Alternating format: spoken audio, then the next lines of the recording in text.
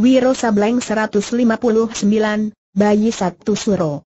Wiro Sableng Pendekar Kapak Maut Naga Geni 212 karya, Bastian Tito episode, Bayi Satu Suro sama dengan sama dengan sama dengan sama dengan sama dengan sama dengan sama dengan sama dengan sama dengan sama dengan sama dengan sama dengan sama dengan sama dengan sama dengan sama dengan sama dengan Sri Paduka Ratu Penguasa Laut Utara perhatikan air di dalam nampan.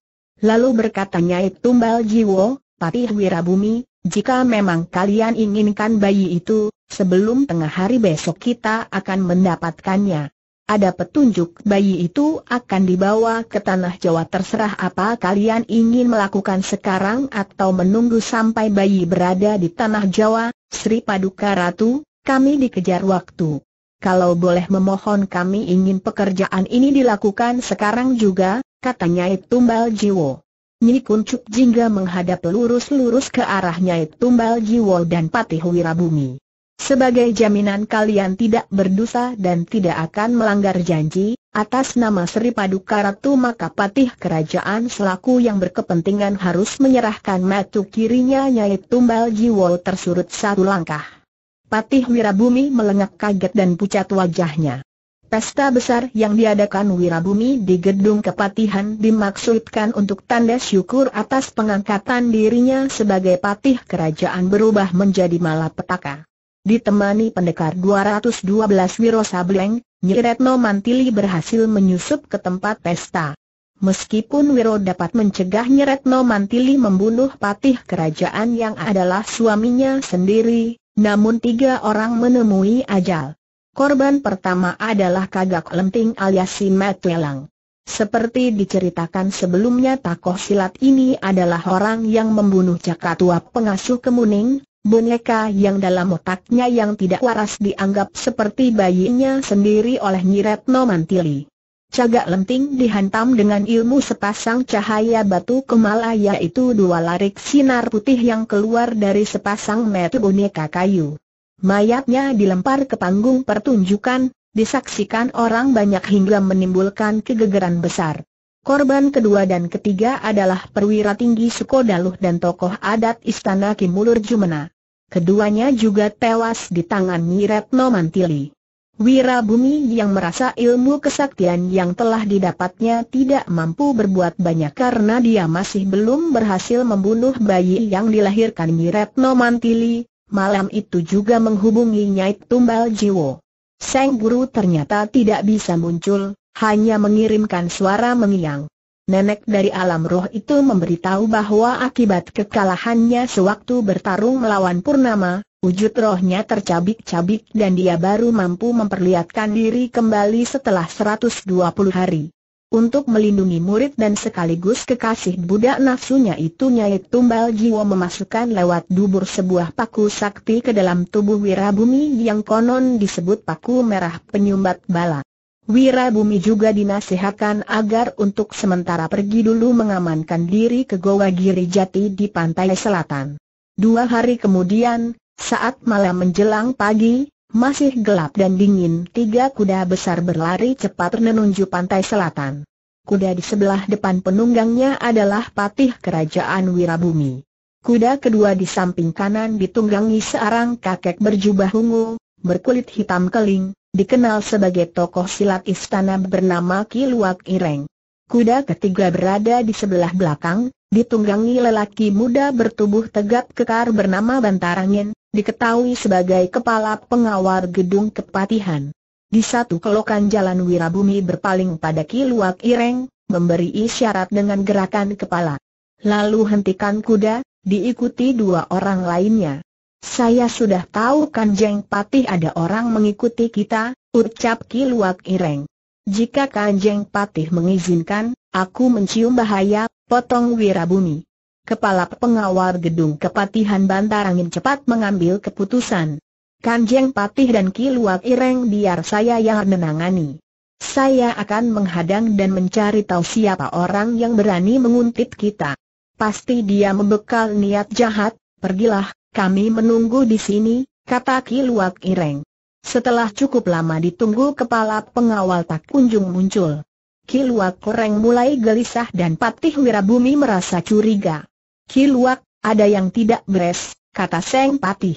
Aku khawatir sesuatu terjadi dengan kepala pengawal saya akan menyelidik, kata tokoh silat istana itu. Pergi cepat. Aku menunggu di sini. Jika terjadi sesuatu lekas kembali, saat itu satu cahaya merah entah dari nana datangnya menyusup masuk ke dalam kepala lewat ubun-ubun Wirabumi. Lalu ada suara menginyang di telinga Seng Patih Wirabumi, harap kau berlaku waspada. Dirimu dalam bahaya, Wirabumi kenali suara itu. Nyai tumbal jiwa tubuh Wirabumi bergetar. Sesaat kemudian secara aneh wajah dan tubuhnya telah berubah menjadi seorang gadis cantik mengenakan pakaian ringkas warna merah muda inilah penampilan penjelmaan yang biasa dilakukan Nyai Tumbal Jiwo jika dia hendak bercinta dengan Wirabumi. Namun kali ini ilmu kesaktian tersebut dipergunakan untuk melindungi Seng Burit. Menyadari dirinya berubah tentu saja Wirabumi Ernan jadi kaget. Wirabumi, kau tak usah kaget atau takut. Dirimu berubah demi keselamatanmu, suaranya tumbal jiwa mengiang di telinga Wirabumi membuat Seng Patih merasa lega. Sesuai perintah Wirabumi, Kiluak Ireng segera menggebrak kuda tunggangannya. Namun di depan sana tiba-tiba muncul seekor kuda hitam, berlari kencang membawa sesosok tubuh berlumuran darah. Itu kuda bantarangin. Apa yang terjadi? Astaga! Orang di punggung kuda itu, Luak Ekas periksa meskipun wujudnya telah berubah menjadi seorang gadis cantik namun suara Seng Patih masih tetap suara laki-laki. Suara Wirabumi. Kiluak Koreng cepat melompat dari punggung kuda. Dengan gerakan kilat dia menyambar tali kekang kuda hitam hingga binatang ini tersentak meringkik keras dan berhenti berlari. Sepasang mata Kiluak Koreng mendelik tengkuk dingin merinding. Dia segera mengenali sosok bergelimang darah di punggung kuda hitam dan cepat-cepat menurunkan, lalu dibaringkan di tanah. Kanjeng Patih Bantarangin dibunuh Kiluak, berpaling ke arah Patih Kerajaan. Kanjeng Patih, Kiluak Koreng terperangah kaget yang dilihatnya duduk di atas punggung kuda bukan Patih Kerajaan Wirabumi tetapi seorang gadis cantik berpakaian merah muda berkulit kuning langsat.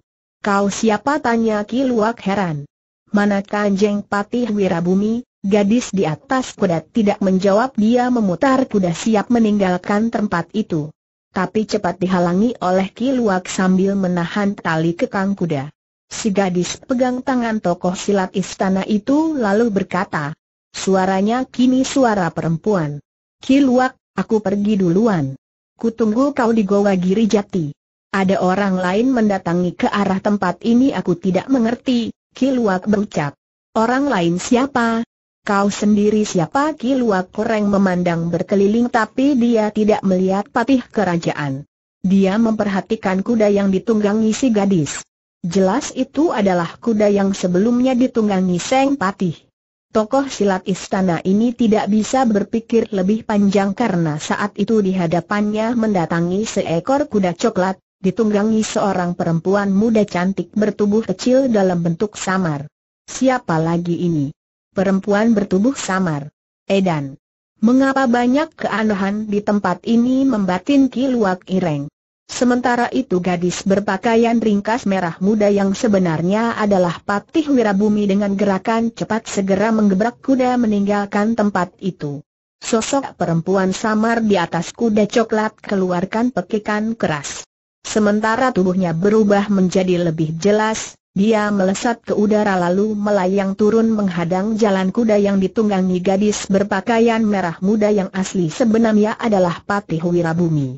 Ketika Wirabumi yang penampilannya sebagai seorang gadis cantik berpakaian merah muda melihat siapa adanya gadis bertubuh kecil yang menghadang di tengah jalan, kagetnya bukan alang kepalang.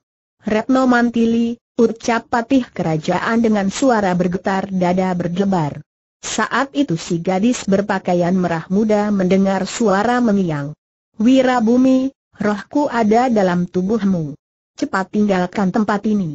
Segera pergi ke Goa Giri Jati. Aku sudah membuat benteng perlindungan bagi dirimu di sana, Nyai Tumbal Jiwo. Aku harus membunuh perempuan muda yang membawa boneka itu. Kau lihat sendiri. Dia adalah Retno Mantili. Istriku kasip. Keadaan sudah kasip. Saatnya tidak tepat. Biar Kiluak Koreng yang mengurus perempuan itu jawab suara mengiang. Di tengah jalan Nyiretno Mantili tolakan tangan kiri ke pinggang sementara tangan kanan memegang boneka kayu. Dua kaki dikembang. Mata memandang berkilat tak berkesip ke arah gadis pakaian merah dan Kiluak Ireng. Kalian berdua jangan ada yang berani bergerak. Apalagi berani tinggalkan tempat ini, Nyiretno Mantili mengancam. Tangan yang memegang boneka perlahan-lahan diangkat setinggi dada. Kiluak. Lekas bereskan perempuan sinting itu perintah gadis baju merah muda. Kiluak jadi bingung. Kanjeng Pa, Kiluak gelengkan kepala. Aku, gadis berpakaian merah muda jadi tidak sabaran. Dia menggebrak kuda tunggangannya. Binatang ini menghambur ke depan siap menerjang Nyiretno Mantili.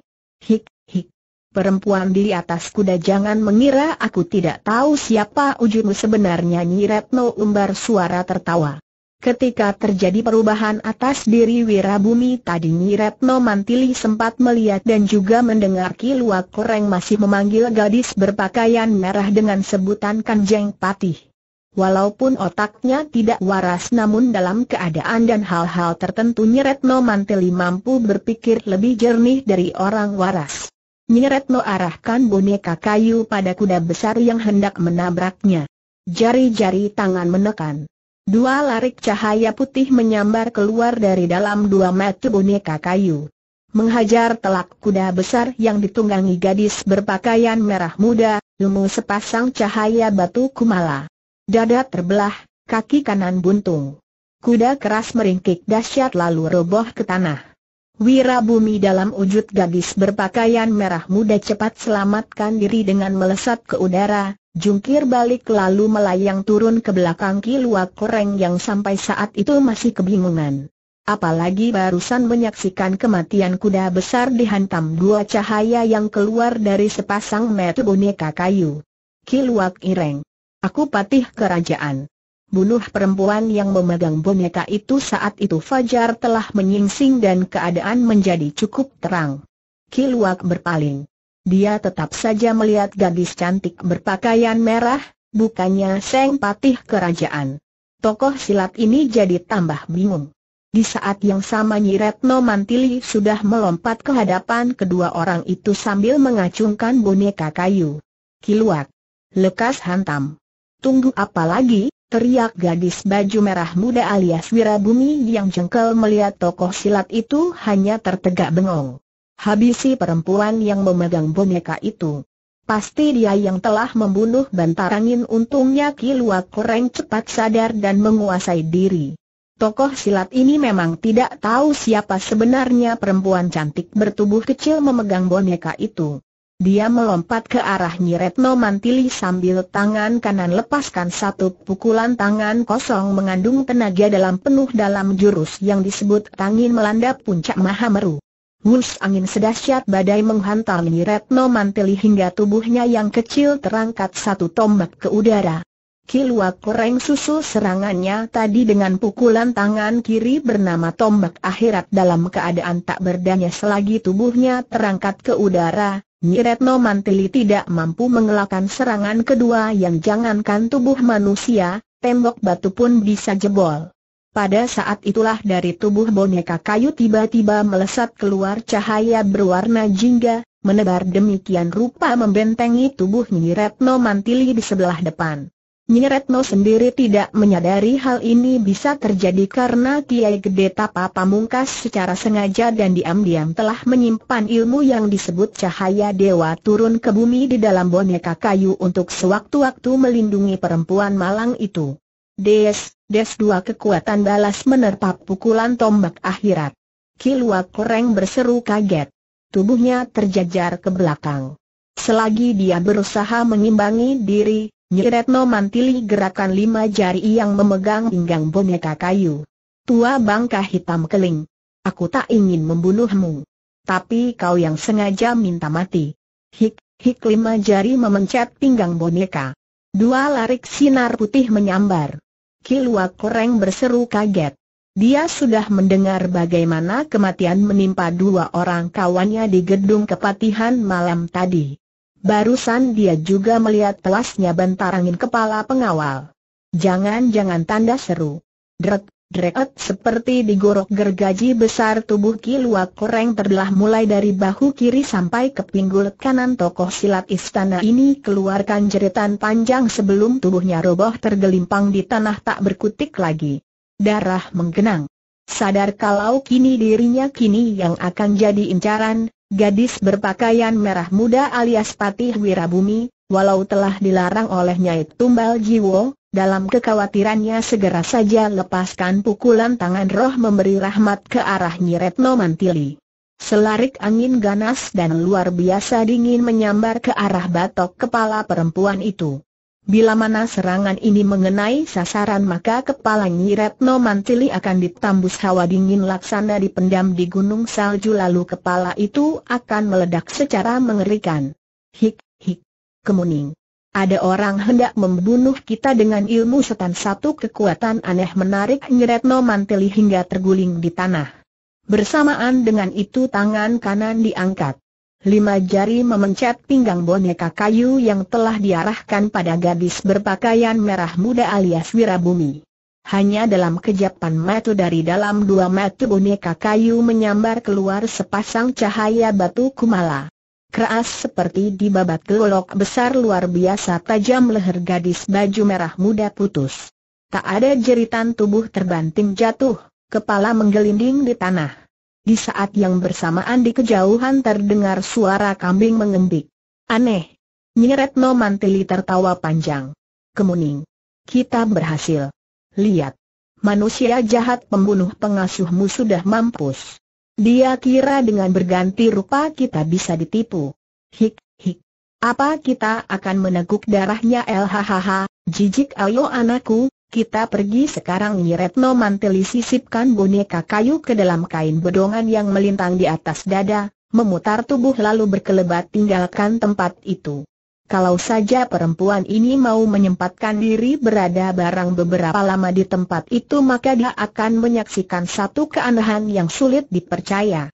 Dia menyangka telah membunuh Wirabumi yang merubah diri menjadi gadis cantik berpakaian merah, muda itu. Padahal itu tidak pernah terjadi. Setelah Nyeretno Mantili meninggalkan tempat pembantaian tanpa membawa kuda coklat, dari bangkai kambing yang tergeletak di tanah melesat keluar sosok gadis berpakaian merah muda. Gadis ini melompat ke punggung kuda coklat. Satu cahaya merah berkelebat. Wujud gadis pakaian merah muda berubah menjadi sosok Patih Wirabumi. Sehabis membunuh cagak lem tinggal Yasin Matlelang perwira tinggi Sukodaluh dan tokoh silat Istana Ki Wulur Jumena di gedung kepatihan, Nyi Retno Mantili meninggalkan pendekar 212 Wiro Sableng begitu saja. Hal ini karena kesal sebab Wira mencegah bahkan setengah memaksa agar dia tidak membunuh Patih Wirabumi yang sebenarnya adalah suaminya sendiri. Wiro berusaha mengejar namun tak berhasil karena perempuan itu menerapkan ilmu kesaktian yang didapatnya dari Kiai Gede Tapa Pamungkas yaitu ilmu di dalam kabut mengunci diri. Setelah merasa berhasil membunuh Wirabumi yang menyamar diri sebagai gadis cantik berpakaian ringkas merah muda kini Nyeretno Manteli teringat sendiri pada Seng Pendekar. Sambil mengelus punggung boneka kayu Nyeretno berkata kemuning anakku, kita harus mencari ayahmu itu. Hik, hik. Apakah dia memang mau jadi ayahmu? Kita harus memberitahu bahwa kita sudah berhasil membunuh manusia jahat bernama Wirabumi tapi kita mau cari dia di mana? Jangan-jangan dia marah sama aku, sama kamu. Hik, hik. Kalau dia memang marah lebih baik kita pergi saja ke tempat yang sepuh Mukiai yang di puncak gunung gede itu. Dulu kita pergi begitu saja meninggalkan dirinya. Kalaupun dia marah, melihat kita datang lagi pasti Kiai merasa senang. Hik, hik. Eh, mengapa aku bingung? Mana yang harus aku lakukan? Mencari ayahmu atau pergi ke Gunung Gede sementara Nyi Retno Mantili berada dalam keadaan bingung, di tempat lain murid Sinto Gendeng juga bingung tidak tahu mau mencari perempuan itu ke mana. Dua hari dia menghilang. Apakah mungkin dia kembali ke kota raja mengincar Wirabumi di gedung kepatihan Wiro garuk-garuk kepala lalu duduk di bawah sebatang pohon tak jauh dari satu bukit kecil di selatan kota raja. Dia kemudian ingat akan ucapan Datuk Rao Basaluang Ameh sewaktu muncul bersama harimau putih sakti membawa bayi Miretno Mantil yang diberi nama Ken Permata. Ada baiknya kau dampingi ibunya. Bukan hanya untuk mengharapkan kesembuhan penyakitnya tapi juga untuk melindungi perempuan malang itu dari bermacam bahaya yang mengancam, dalam hati Wiro berucap sendiri, Yang Retno menerima banyak ilmu dari Kiai Gede Tapa Pamungkas. Dia mampu menjaga diri. Namun ada ucapan Datuk Rao yang membuatku merasa punya ganjalan, dalam pertemuan itu memang Datuk Rao Basaluang Ameh mengeluarkan kata-kata, sebelum pergi ada satu hal yang perlu aku beritahukan kau harus mengerti dan bersiap diri. Hadapi dengan bijaksana kalau nanti kau melihat kenyataan bahwa Nyi Retno Mantili, Ibu Kang Permata mencintai dirimu, lama Wiro merenung. Perempuan itu memang sering menunjukkan rasa suka dan juga rasa cemburu padaku. Tapi apakah hal itu keluar dari hati dan pikirannya yang waras? Ah, di mana dia sekarang? Mungkin kembali ke tempat Kiai Gede di Gunung Gede saat itu matahari baru saja tersembul di permukaan bumi tiupan angin masih terasa dingin. Wiro merasa letih dan ingin istirahat sekedar memejamkan mata. Tiba-tiba dia mendengar suara kambing mengembik. Mula-mula Wiro tidak mengambil perhatian. Acuh saja dia terus pejamkan kedua matanya tapi pikirannya jalan. Masih pagi begini rupa apa sudah ada orang mengangon ternak? Suara embikan kambing tadi. Bukan suara embikan biasa. Suara embikan binatang yang ketakutan sewaktu mau dijaga mendadak lapat-lapat dia kemudian mendengar suara tawa cekikikan. Suara tawa perempuan. Murid Sinto Gendeng langsung melompat dari duduknya. Tegak menggaruk kepala. Aku mengenali betul. Itu suara tawa Nyi Retno Mantili tidak menunggu lebih lama Wiro melompat dan lari ke arah terdengarnya suara tawa cekikikan tadi. Dalam kencang-kencangnya berlari Wiro tiba-tiba berhenti. Di hadapannya terpentang satu pemandangan mengerikan. Di tengah jalan berputar-putar seekor kuda besar. Tak jauh dari situ tergelimpang sesosok tubuh bergelimang darah. Wiro cepat mendekati. Gila, dadanya terbelah. Siapa orang ini Wiro membungkuk. Lalu menarik kalung yang masih tergantung di leher mayat. Kalung itu terbuat dari perunggu, berbentuk bola dunia diapit dua ekor naga bermahkota bintang di atas kepala. Ini lambang abdi tingkat tinggi kerajaan, ucap Wiro, orang ini pasti pejabat kerajaan, dugaan Wiro tidak salah karena mayat yang ditemukannya itu adalah mayat bantarangin kepala pengawal gedung kepatihan. Memandang berkeliling di bagian lain jalan tanah Wiro melihat seekor kuda besar tergeletak salah satu kaki depan buntung, dada terbelah. Tak jauh dari bangkai binatang ini terkapar sosok seorang kakek berjubah ungu yang telah jadi mayat dengan luka melintang di dada. Murid Sinto Gendeng garuk-garuk kepala, masih ada satu sosok lagi yang terkapar di tengah jalan yaitu seekor kambing dalam keadaan kepala putus. Kutungan kepala tersurut di kaki semak belukar di pinggir jalan. Ada kuda mati dengan dada terbelah kaki buntung. Dua mayat manusia. Dua-duanya tewas dengan tubuh setengah terbelah. Lalu ada kambing yang lehernya dibabat putus. Kambing. Aneh. Mengapa ada kambing di tempat ini? Apa ada orang yang mau menyatu dua mayat manusia, seekor kuda dan seekor kambing? Tampaknya menemui kematian dengan cara yang sama. Mungkin si penjaga menggunakan golok luar biasa besar untuk menebar maut. Tapi mengapa kulihat ada tanda-tanda daging hangus di pinggiran luka yang menguak? Berarti ada tenaga dalam dan hawa sakit menyertai serangan yang mematikan. Wiro perhatikan lagi dua mayat yang tergeletak di tanah sambil menduga-duga siapa adanya kedua orang ini. Tiba-tiba dia mendengar suara orang menangis. Pilu berhibah-hibah. Wiro memandang ke arah kejauhan dari mana datangnya suara tangisan. Dia melangkah mendatangi. Begitu sampai di tempat yang diperkirakan asal suara orang menangis dia tidak menemukan siapa-siapa. Suara tangisan pun tidak terdengar lagi. Aneh, suara itu aku yakin tadi datangnya dari sekitar tempat ini, Wiro memandang berkeliling sambil menggaruk kepala. Tiba-tiba suara tangisan terdengar lagi. Kini datangnya dari balik deretan pepohonan besar yang tumbuh rapat di ujung kiri Wira menunggu sebentar. Suara tangisan semakin keras dan memilukan. Setelah memastikan dari mana arah datangnya tangisan itu Wiro berkelebat ke balik deretan pohon besar, menyelinap ke balik serumpunan semak belukar dan mengintip. Hanya sejarak sekitar sepuluh langkah di hadapannya dia melihat seorang perempuan berpakaian ringkas merah muda duduk di atas gundukan tanah membelakanginya kepala ditumpangkan di atas lutut wajah ditutup dengan dua tangan.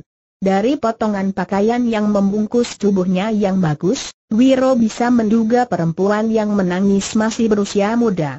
Wiro menggaruk kepala. Pagi hari, di tempat sepi begini rupa ada perempuan terpesat dan menangis. Pakaiannya rapi berarti tidak ada orang yang mencelakainya. Perlu juga ku cari tahu siapa Dayal apa masalah yang tengah dihadapinya.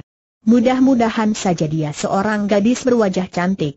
Kalau ternyata dia seorang nenek bertampang buruk, sial diriku.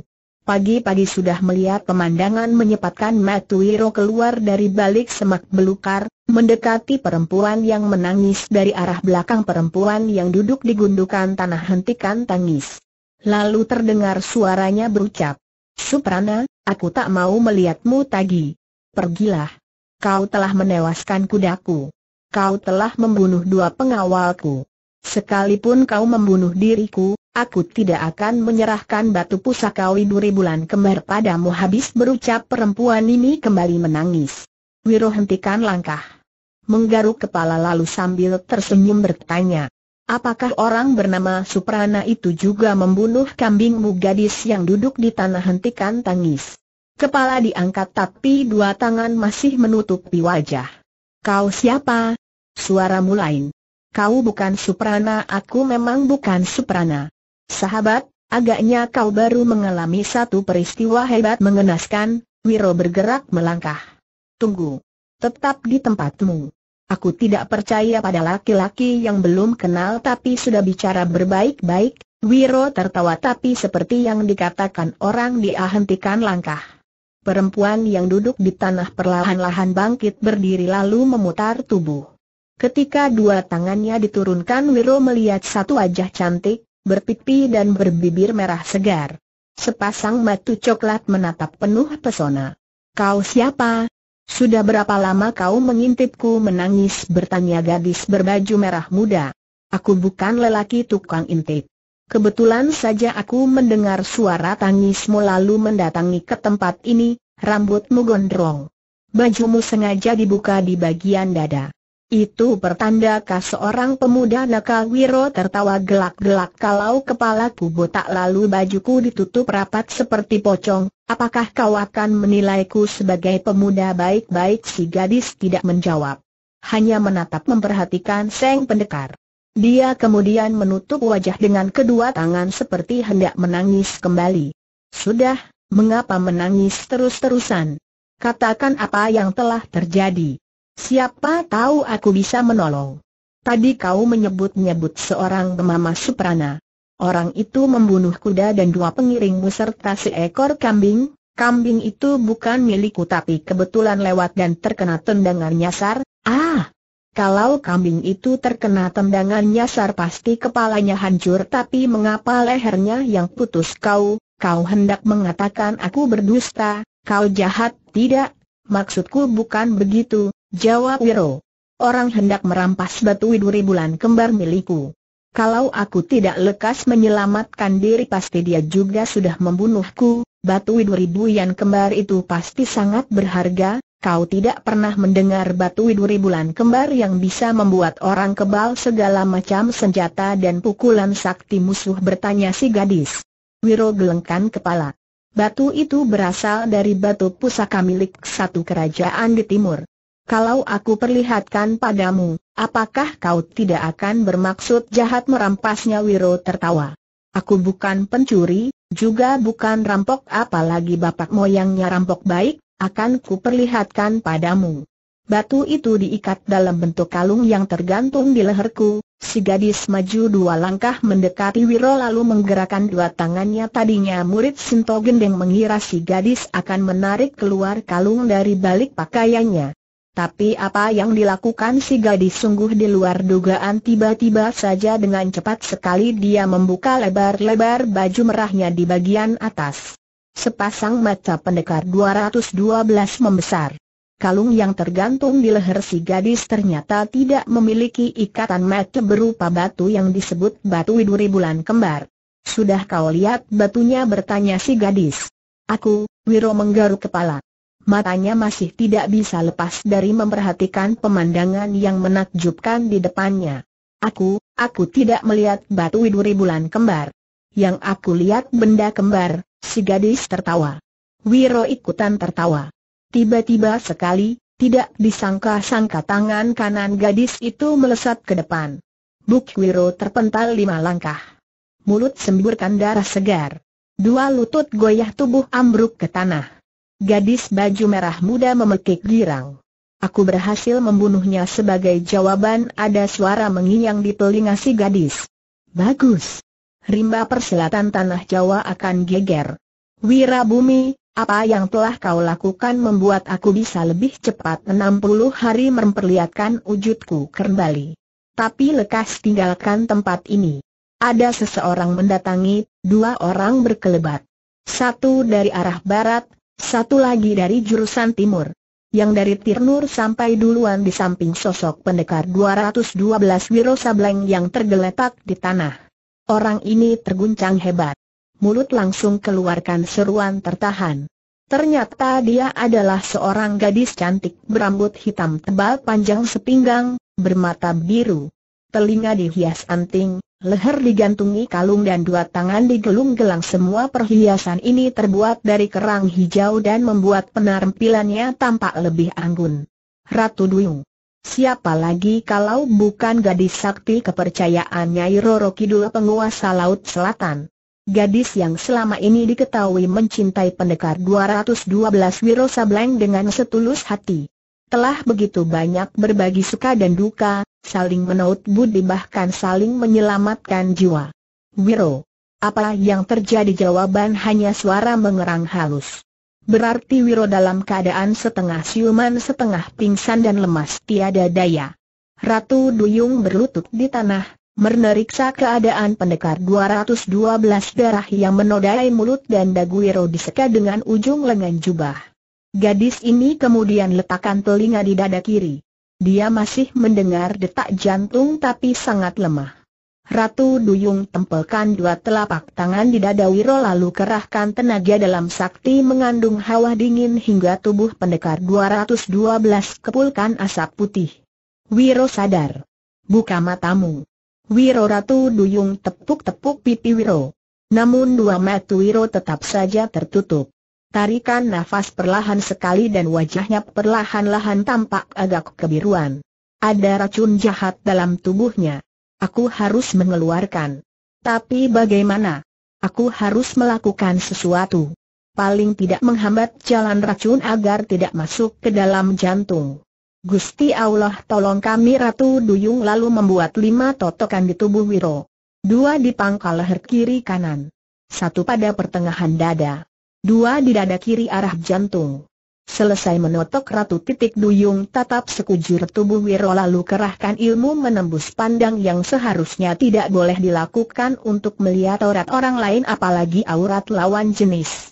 Namun dia tidak bisa berbuat lain karena dia harus tahu bagian tubuh mana dari Seng pendekar yang cedera, sekaligus mencari tahu dari mana masuknya racun yang kini ada dalam tubuh pemuda itu. Lewat ilmu yang diterapkan gadis bermata biru ini melihat ada sesuatu di dada Wiro. Dengan cepat dia membuka baju putih yang dikenakan Wiro. Begitu bagian dada tersingkap gadis ini tersentak kaget. Pada dada Wiro sebelah kiri, Sedikit di bawah arah jantung dia melihat tanda merah kehitaman berbentuk telapak tangan dengan lima jari terkembang. Satu bayangan putih tiba-tiba berkelebat. Ini adalah orang yang datang dari arah barat. Sesaat kemudian di tempat itu telah berdiri seorang kakek berambut putih panjang riap-riapan. Janggut sedada, kumis menjulai putih. Dua mata gembung rapat seperti buta, pukulan telapak roh.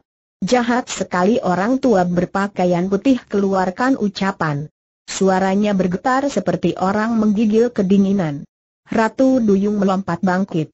Tangan kanan cepat sekali diletakkan di atas batok kepala si orang tua tangan yang sudah dipenuhi tenaga dalam tinggi itu siap untuk melancarkan pukulan maut bemama genta laut selatan. Jika pukulan itu sampai dilakukan, si orang tua akan rengkah kepalanya dan nyawa tidak akan tertolong lagi. Namun si orang tua tetap tunjukkan sikap tenang, menatap Ratu Duyung sejurus lalu perhatikan sosok Wiro dengan pandangan sedih. Kau siapa? Tanya Ratu Duyung dengan suara keras mata mendelik dan hati penuh curiga. Namaku Ki Balang Kerso. Aku seorang kuncen, orang tua bermata gembung berpakaian putih menjawab. Kuncen. Setahuku tidak ada makam apalagi pekuburan di kawasan ini, Ratu Duyung memperhatikan penuh selidik. Aku kuncen di pemakaman Kebon Agung, di luar kota raja kau mengetahui nama pukulan yang menciderai pemuda itu. Berarti kau tahu siapa orang yang mencelakai sahabatku ini ah ternyata dia sahabatmu. Aku tahu siapa yang punya ilmu pukulan tapak roh itu. Namun belum tentu dia pelakunya, Kuncen, apa maksudmu tanya Ratu Duyung. Ilmu tapak roh kini dimiliki dua orang. Pertamanya itu Tumbal Jiwo, aku pernah mendengar nama itu. Bukankah dia nenek jahat dari alam roh Kuncen bernama Ki Balang Kerso anggukan kepala. Siapa pemilik ilmu tapak roh yang kedua murid Nyai Tumbal Jiwo? Namanya, belum sempat Ki Balang Kerso selesaikan ucapan tiba-tiba lima larik sinar merah menyambar mengarah bagian belakang tubuh Ki Balang Kerso. Awas, ada yang membokong teriak Ratu Duyung lalu jatuhkan diri sambil secepat kilat mendorong tubuh si orang tua hingga keduanya jatuh bergulingan di tanah. Ki Balang Kerso terdengar mengerang.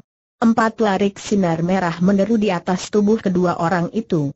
Larikan kelima masih sempat menyerempet bahu kanan Ki Balang Kerso hingga menimbulkan luka besar menguap darah mengucur deras. Tubuh Seng Kuncin sebelah kanan tampak menghitam.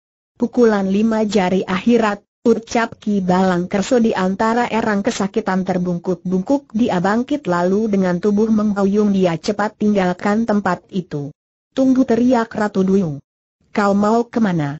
Kau belum mengatakan pemilik ilmu pukulan tapak roh kedua, tanpa berhenti Ki Balang Kerso menyahuti. Aku lebih mementingkan keselamatan diriku.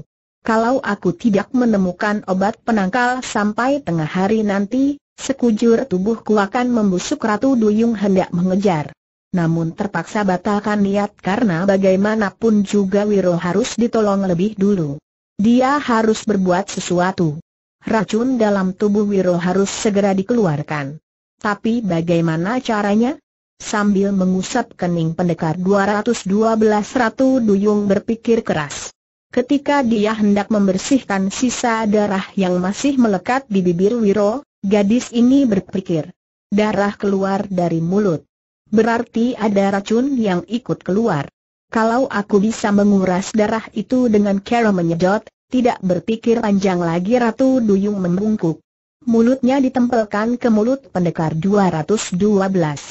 Belum sempat dia menyedot tiba-tiba ada tawa cekikikan di susul ucapan.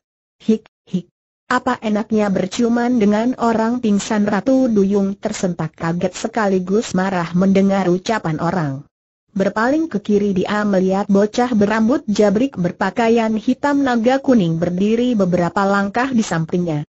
Bocah cahil. Enak saja kau bicara. Siapa yang hendak berciuman?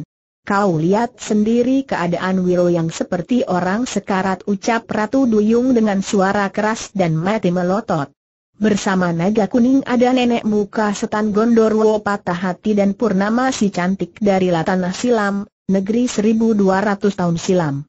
Ratu Duyung walau jengkel mendengar ucapan naga kuning namun dia lebih merasa tidak enak melihat munculnya Purnama di tempat itu.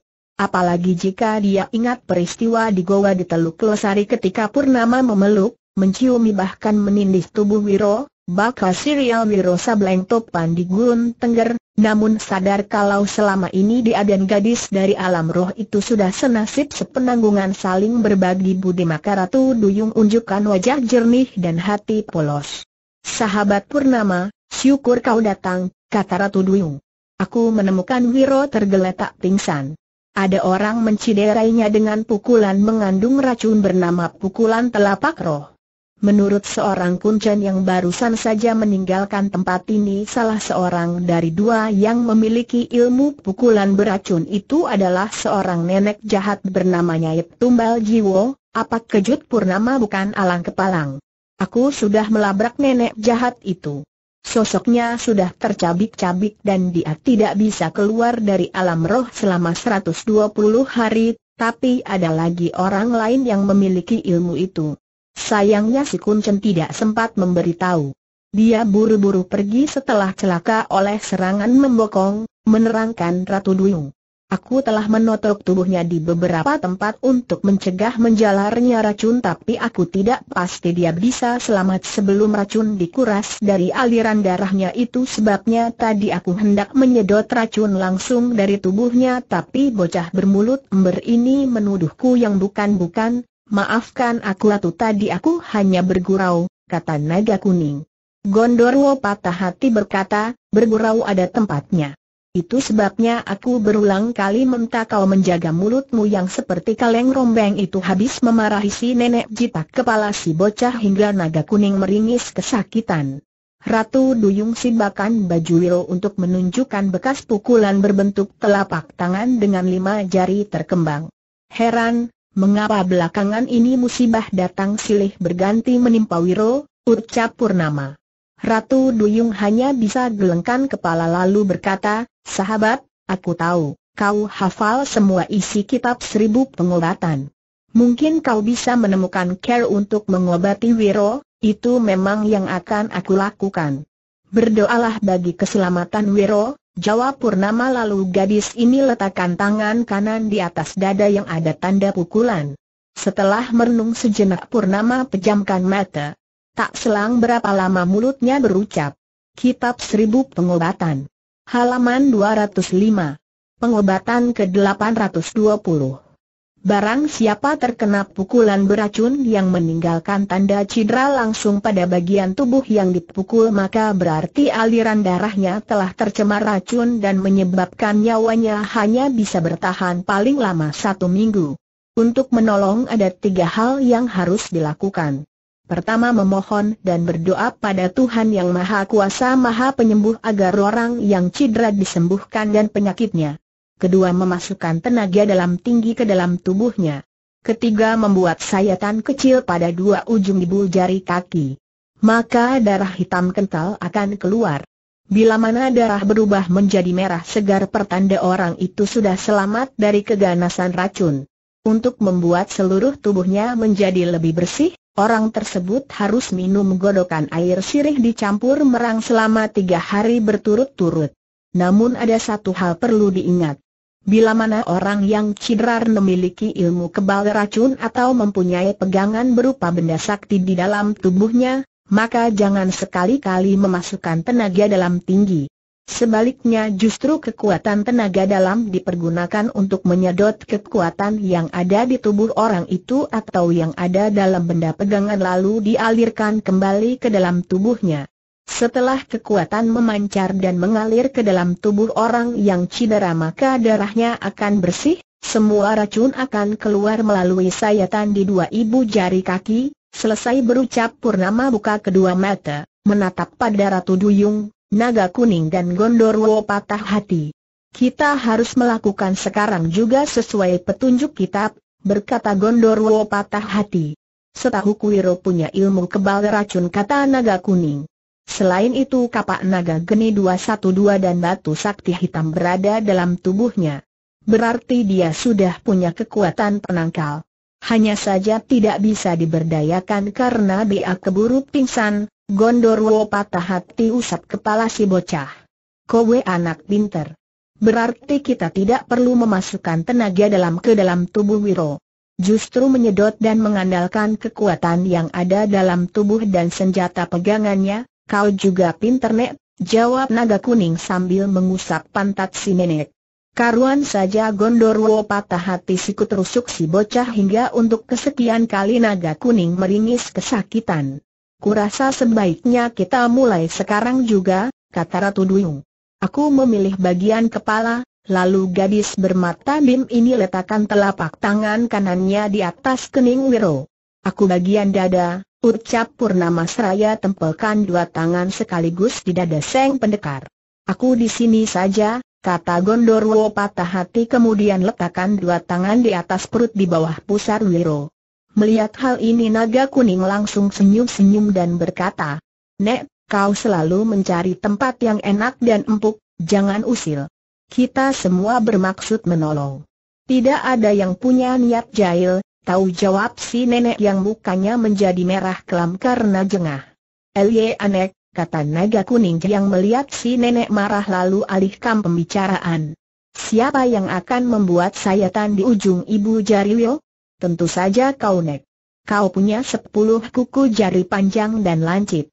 Habis menyayat langsung saja letakkan tanganmu di dua kaki Wiro untuk menyedot tenaga dalam. Aku biar memegang di bagian perut, bocah culas empat gondorwo patah hati kembali jengkel. Naga kuning senyum-senyum cengengesan. Mau tak mau si nenek angkat tangannya dari bawah pusar Wiro lalu dengan kuku tangan yang panjang dia membuat dua sayatan kecil di ujung ibu jari kaki Wiro kiri kanan. Setelah itu masih agak jengkel dia letakkan dua tangannya di paha Wiro pada bagian di atas lutut. Masing-masing saling memberi isyarat lalu semuanya mulai menyedot kekuatan hawa sakti yang ada di dalam tubuh Wiro. Des, des, des, Dos tubuh Wiro bergoncang keras. Empat letupan terdengar disertai keluarnya kepulan asap merah dari tubuh Seng Pendekar. Ratu Duyung dan tiga orang lainnya merasakan ada hawa panas yang tersedot, membuat tangan mereka bergetar perlahan-lahan hawa panas berubah menjadi hawa sejuk. Bersamaan dengan lenyapnya getaran pada tangan, dari dua sayatan kecil di ibu jari dua kaki Wiro mengucur keluar darah hitam pekat. Tak lama kemudian warna darah yang keluar sedikit demi sedikit berubah menjadi merah segar lalu kucuran darah berhenti sama sekali. Semua orang menarik nafas lega. Sepasang mata Wiro masih tertutup. Namun mulut terbuka lalu pemuda ini berucap. Aku, aku tidak melihat batu widuri bulan kembar. Aku melihat dada besar.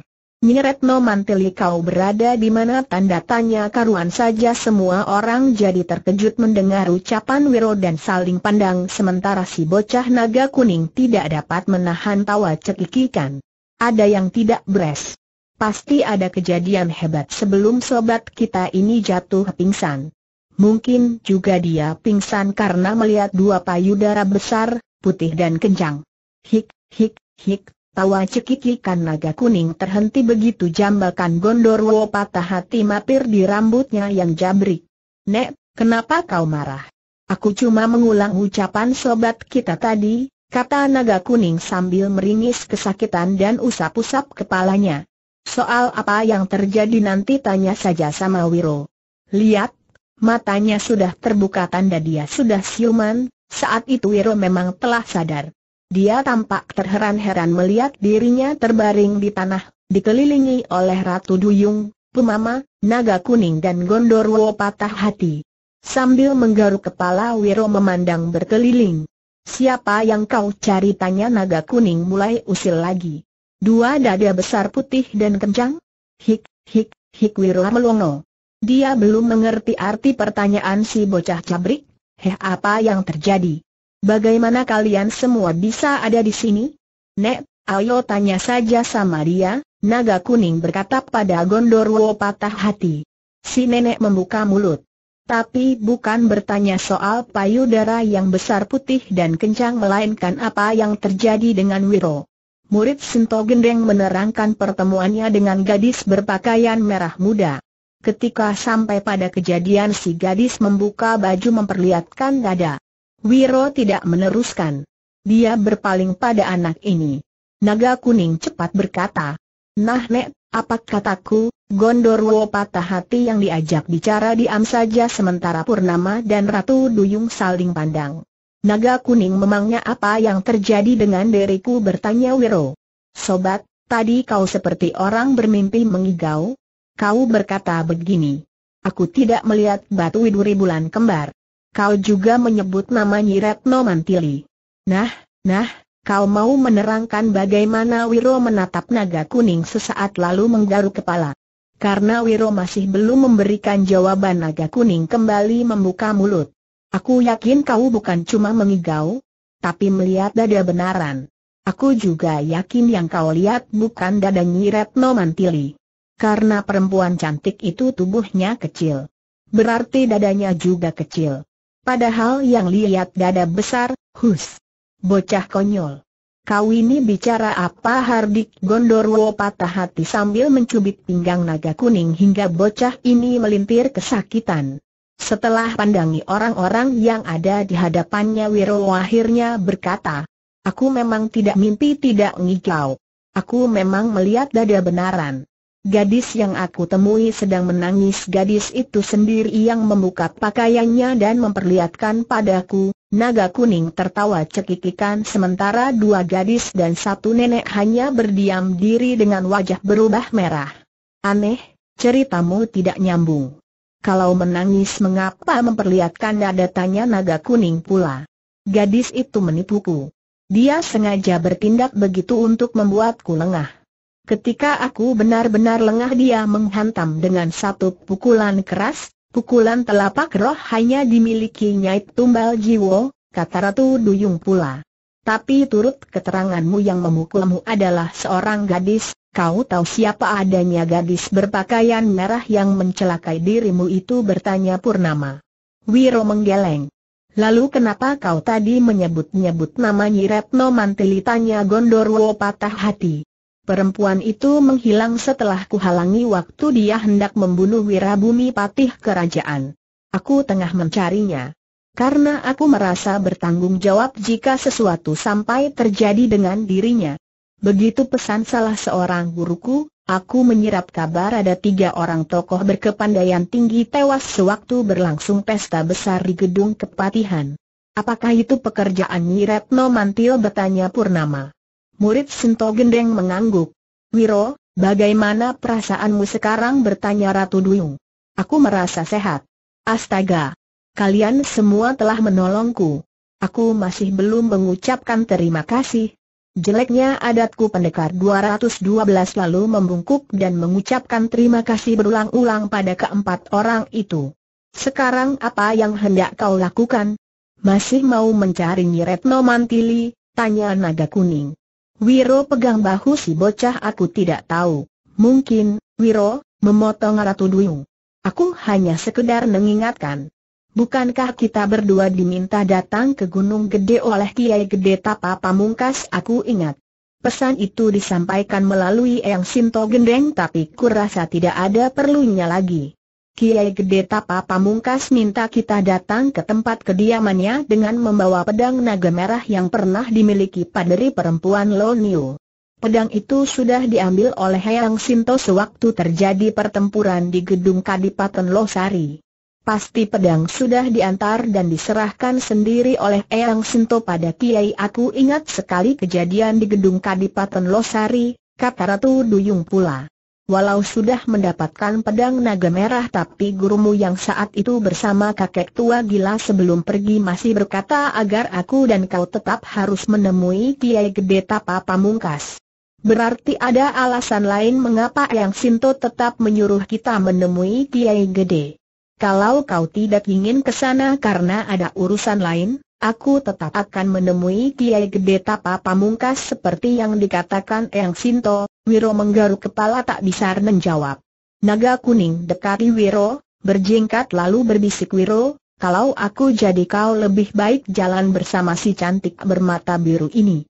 Daripada mencari perempuan kurang waras yang punya anak kayu itu, mulutmu sama jabriknya dengan rambutmu kata Wiro sambil tusukan telunjuk tangan kanannya ke perut naga kuning. Membuat si bocah meliuk kegelian. Setelah beberapa saat akhirnya Wiro berkata, Kurasa memang ada perlunya kita menemui Kiai Gede Tapa Pamungkas. Namun kalau tidak keberatan Ratu, kau boleh pergi lebih dulu. Aku menyusul beberapa hari berselang, kalau begitu maumu, aku berangkat sekarang juga, kata Ratu Duyung pula lalu tanpa banyak bicara lagi dia tinggalkan tempat itu. Wiro, seharusnya kau pergi sama-sama dengan sahabatmu itu, berkata Purnama. Jika kau tak mau jalan bersamanya biar aku yang menemaninya. Habis berkata begitu gadis dari Latana Silam ini segera mengejar Ratu Duyung. Wiro terdiam tapi berpikir. Dalam hati dia berkata, Aku khawatir, Purnama ingin menemani Ratu Duyung. Jangan-jangan ada yang ingin diketahuinya mengapa Kiai Gede Tapa Pamungkas meminta aku dan Ratu Duyung datang. Dia ingin menyerap kabar. Kalau-kalau, Wiro, kata naga kuning. Aku yakin Ratu Duyung kecewa dengan sikapmu. Bahkan Purnama bisa menyelami hati gadis bermata biru itu, mungkin tindakanku keliru dan menyakitkan hati orang, sahut Wiro. Tapi saat ini patih kerajaan terancam keselamatannya hendak dibunuh oleh Nyiretno Mantili. Jangan-jangan patih itu memang sudah dibunuh. Apa sebenarnya kepentinganmu sampai membela dan melindungi patih kerajaan begitu rupa bertanya Gondorwo patah hati, setahu Kuira Bumi bukan orang baik.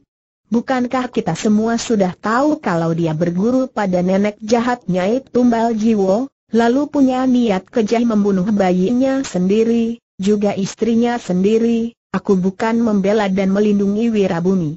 Justru aku membela Nyi Retno Mantili dan bayinya. Karena seseorang punya pesan padaku.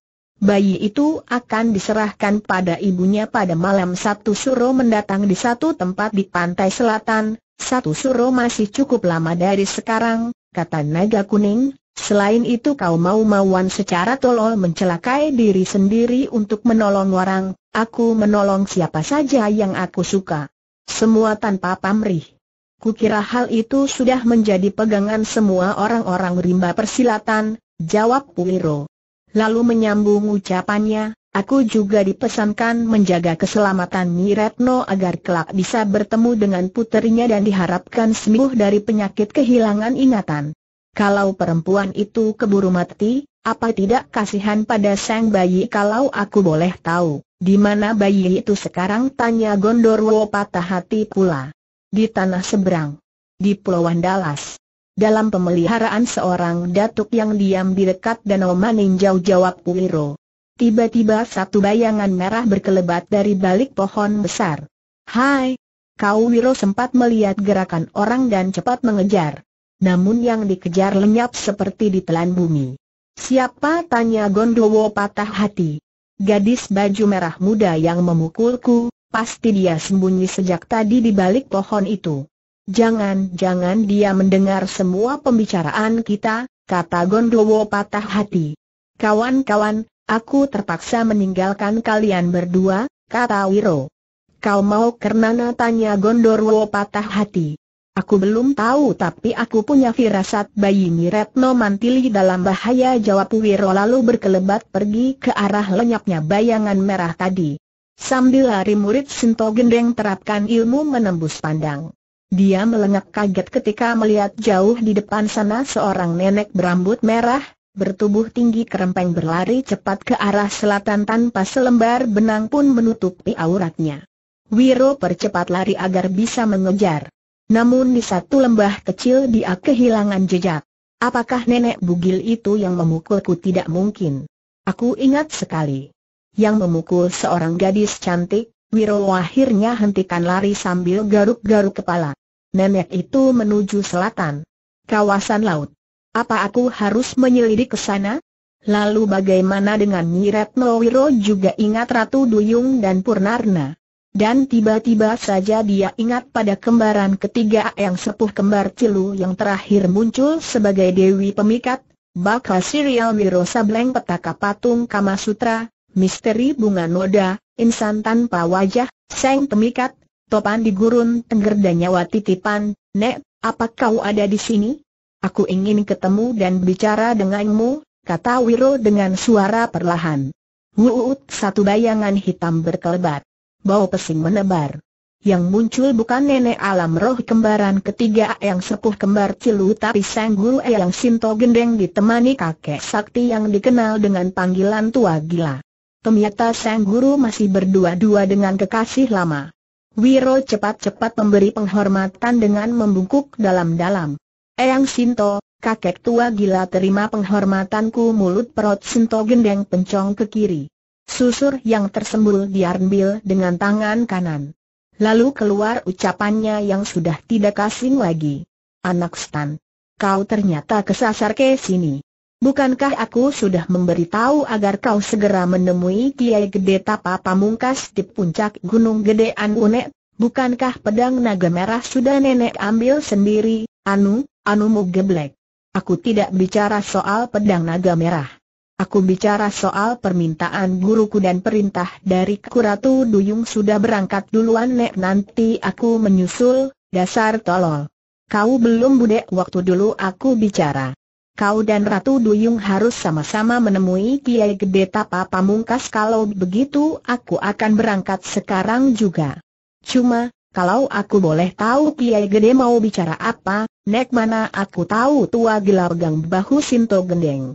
Sinto, sebaiknya kau katakan saja terus terang pada muridmu, begitu sepasang mata si nenek berputar lalu mulutnya berucap, anak stan. Kau kau memang ingin tahu lebih dulu baik aku katakan. Kiai Gede Tapa Pamungkas ingin bicara soal perjodohanmu dengan Dantu Duyung. Selarna ini kau petatang peteteng ke mana-mana seperti kuda liar. Sudah saatnya kau hidup punya pasangan Tati Eyang Sinto, tapi apa? Dulu kau diributkan sudah kawin bahkan menghamili Wulan Serindi. Di negeri Latana Silarn konon kau juga sudah kawin dengan nenek jelek yang mukanya seperti burung nazar. Hik, hik.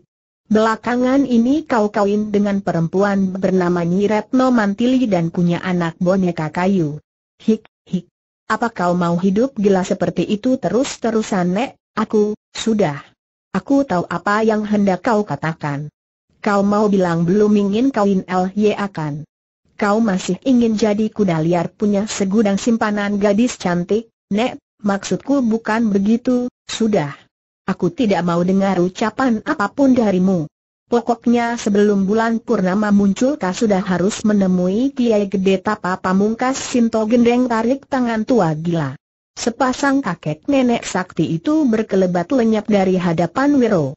Seng pendekar sendiri jatuhkan diri, duduk di tanah sambil garuk-garuk dan goleng-goleng kepala. Ucapan sang guru terngiang kembali di telinganya. Kiai Gede Tapa Pamungkas ingin bicara soal perjodohanmu dengan Lantu Duyung, Wiro baringkan diri di tanah, menatap ke langit lepas. Namun yang dilihatnya adalah bayangan wajah-wajah bunga, Anggini, bidadari angin timur, Purnama dan Nyiretno Mantili. Hatinya berucap, Eh yang kau cuma bisa memaksakan kehendak. Menyuruh aku kawin. Kau sendiri seumur-umur sampai jadi tua bangka kisut tidak pernah kawin sambil pejamkan mata hatinya kembali bicara, Ratu Duyung, kau seperti memaksa ingin cepat-cepat menemui Kiai Gede Tapa Pamungkas. Apakah kau sudah tahu bahwa Kiai akan membicarakan soal perjodohanmu dengan diriku tanda tanya di dalam Goa Giri Jati di pantai selatan? Wira Bumi yang telah kembali ke wujud aslinya, sambil menatap ke arah laut luas berkata, ternyata pukulan telapak roh tidak membuat pendekar 212 menemui ajal. Selama dia masih hidup berarti kita akan mengalami kesulitan untuk membunuh Nyi Retno Mantili dan bayinya. Lalu bagaimana dengan keampuhan ilmu kesaktian yang kumiliki Nyai Tumbal Jiwo yang tidak tampak wujudnya menjawab dengan suara mengiang ke telinga Seng Burit. Kau tidak perlu kecewa Wirabumi. Dari ucapan pemuda itu yang kau dengar sendiri, kita sudah mengetahui kira-kira di mana beradanya bayi Miretno Mantili. Mengenai ilmu kesaktianmu, Selama aku bisa masuk ke dalam tubuhmu kau tak perlu khawatir, kalau begitu mengapa Nyai tidak pergunakan ilmu kesaktian untuk mengambil dan membawa bayi itu ke sini? Bukankah Nyai bisa memindahkan benda yang ada di tempat jauh? Seperti dulu Nyai mampu mengambil golok besar milik saya dari tempat kediaman saya sewaktu masih menjadi tumenggung jangan keliru Rabumi. Golok adalah benda nati. Sedang bayi adalah benda hidup, benda bernyawa ilmu kesaktianku tidak punya kemampuan untuk mengambil benda hidup. Selain itu bayi Miretno pasti dipagari satu kekuatan hebat. Tidak sembarang orang bisa mendekatinya. Apalagi hanya mempergunakan ilmu kesaktian dari jarak jauh. Termasuk golok milikmu yang kini entah berada di mana. Senjata itu sudah dilindungi orang yang menguasainya, Wirabumi merasa kecewa. Tapi dia tidak mau mengatakan. Dia mengalihkan pembicaraan. Nyai, kau tahu sebagai patih kerajaan saya tidak mungkin meninggalkan kota raja terlalu lama. Besok atau paling lambat lusa saya harus kembali aku mengerti. Aku tengah memikirkan sesuatu. Mengatur rencana bagaimana caranya kita bisa mendapatkan bayi itu. Begitu matahari terbenam kita sama-sama bersama di. Sebelum tengah malam aku yakin kita sudah mendapat jalan. Paginya kita sudah tahu di mana keberadaan bayi itu. Malamnya kau sudah bisa kembali ke gedung kepatihan walau sebenarnya tempat ini lebih aman karena sudah kupagari tidak ada orang bisa menemui gua ini selain kita berdua. Nyai punya rencana apa? Boleh saya tahu aku akan menghubungi Ratu Pantai Utara. Kesaktiannya memang tidak sehebat Nyai Roro Kidul, tapi dia bisa kita andalkan untuk minta tolong. Lagi pula kedua orang itu sejak lama telah berseteru.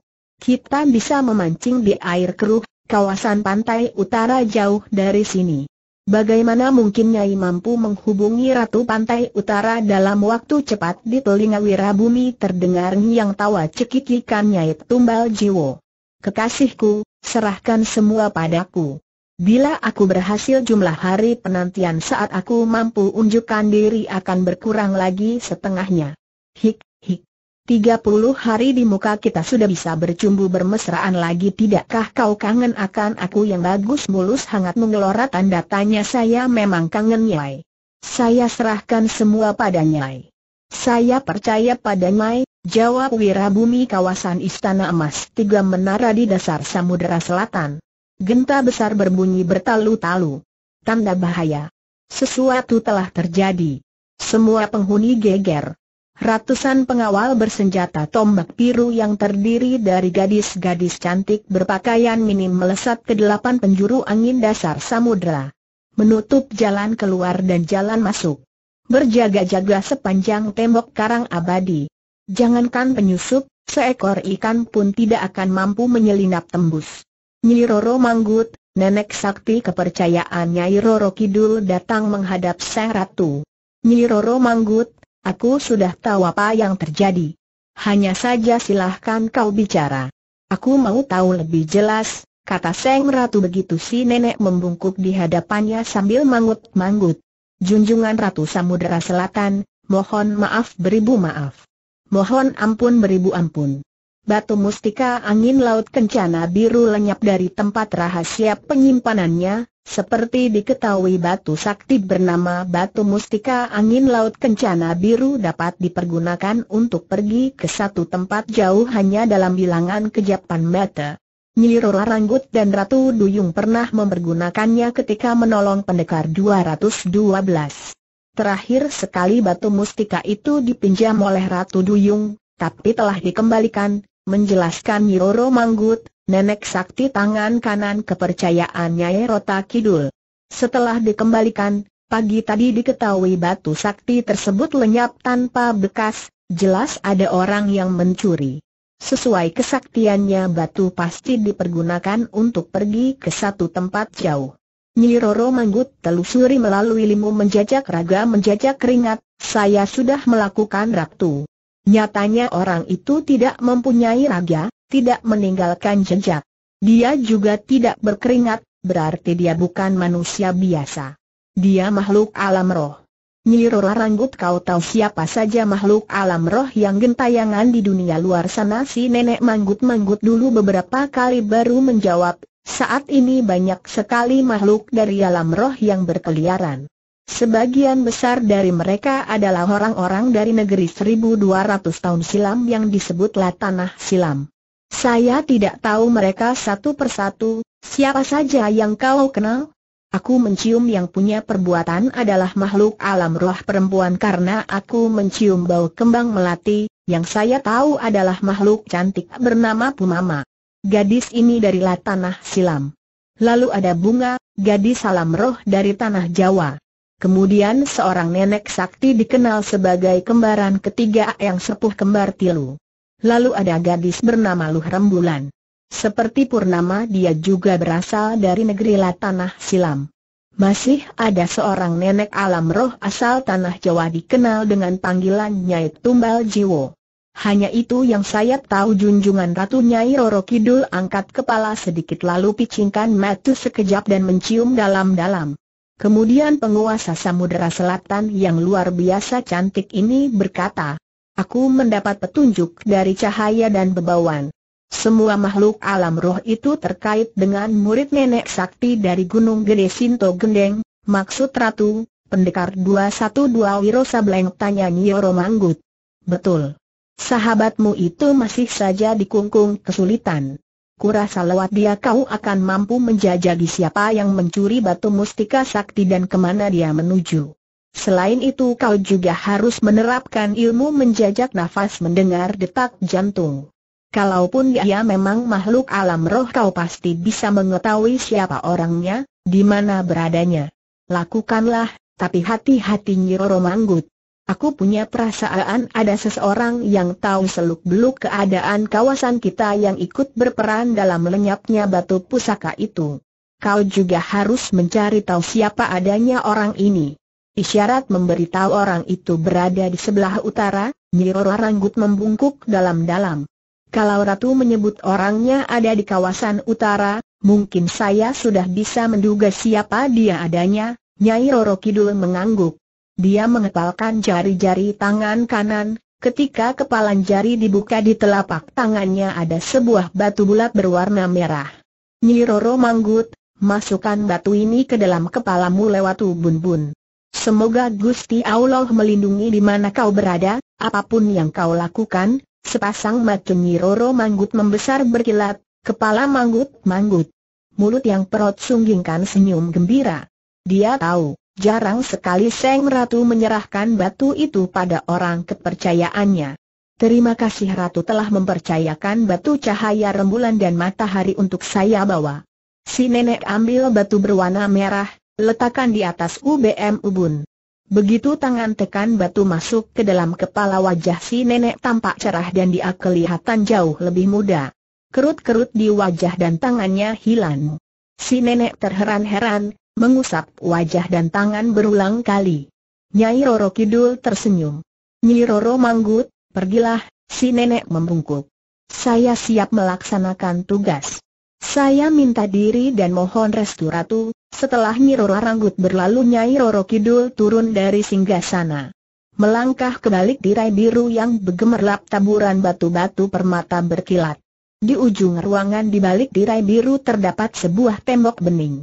Seolah kaca tembus pandang di belakang tembok kelihatan pemandangan laut yang indah sekali. Di bagian tengah tampak sebuah gundukan batu berwarna kuning emas.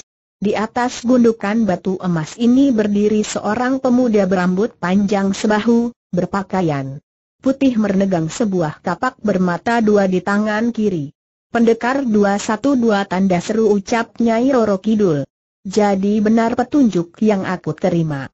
Dirimu terlibat dalam urusan pelik. Bukan cuma urusan nyawa manusia, tetapi juga urusan cinta. Kuharap kau bisa menghadapi semuanya, Nyai Roro Kidul melangkah mendekati tembok tembus pandang.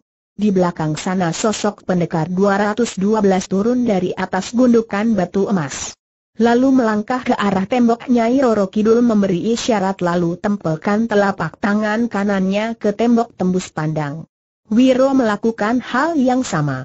Dua telapak tangan saling bertempelan, terpisah oleh tembok tembus pandang. Satu kilatan kecil menyilaukan berpijar di antara dua telapak tangan. Nyai Roro Kidul bersurut satu langkah. Telapak tangan kanan bergetar. Getaran mengalir sejuk masuk ke sekujur tubuh. Sesaat Seng Ratu perhatikan telapak tangannya lalu ditempelkan ke hidung. Harum segar bau kayu cendana.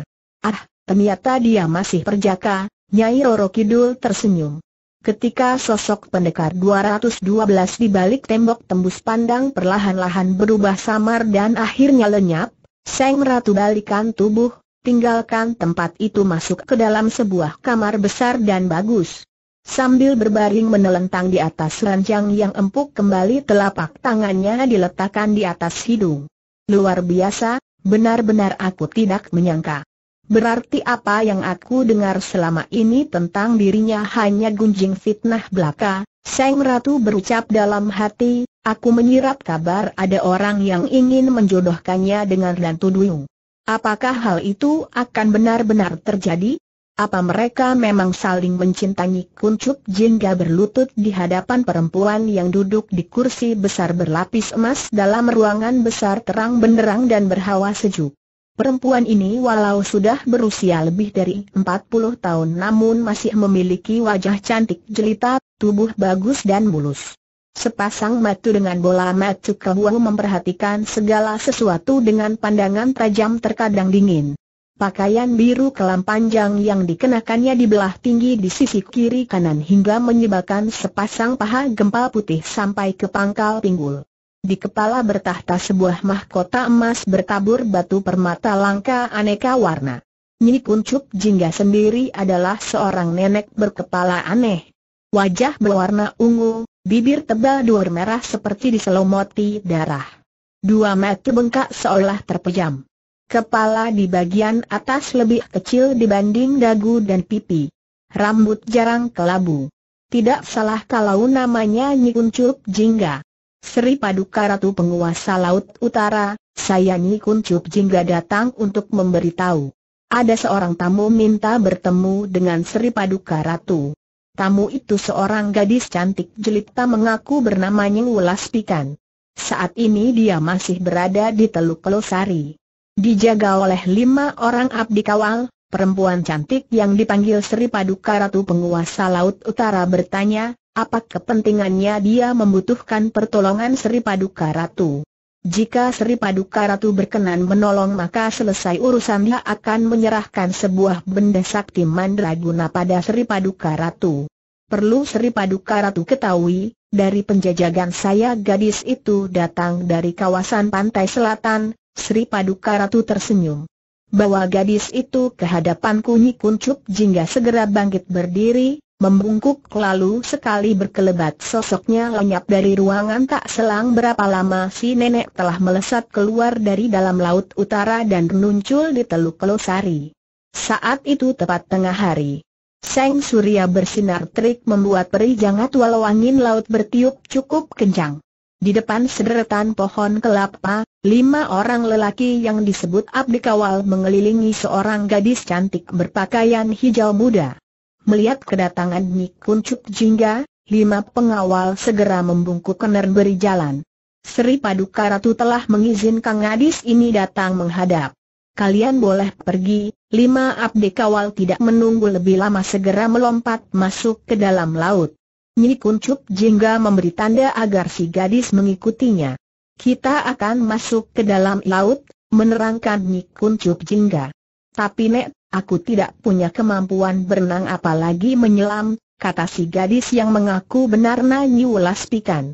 Si nenek tertawa. Dia ulurkan lengan kiri. Pegang tanganku. Setelah itu tak ada yang perlu kau khawatirkan Nyi Pikan pegang lengan kiri si nenek.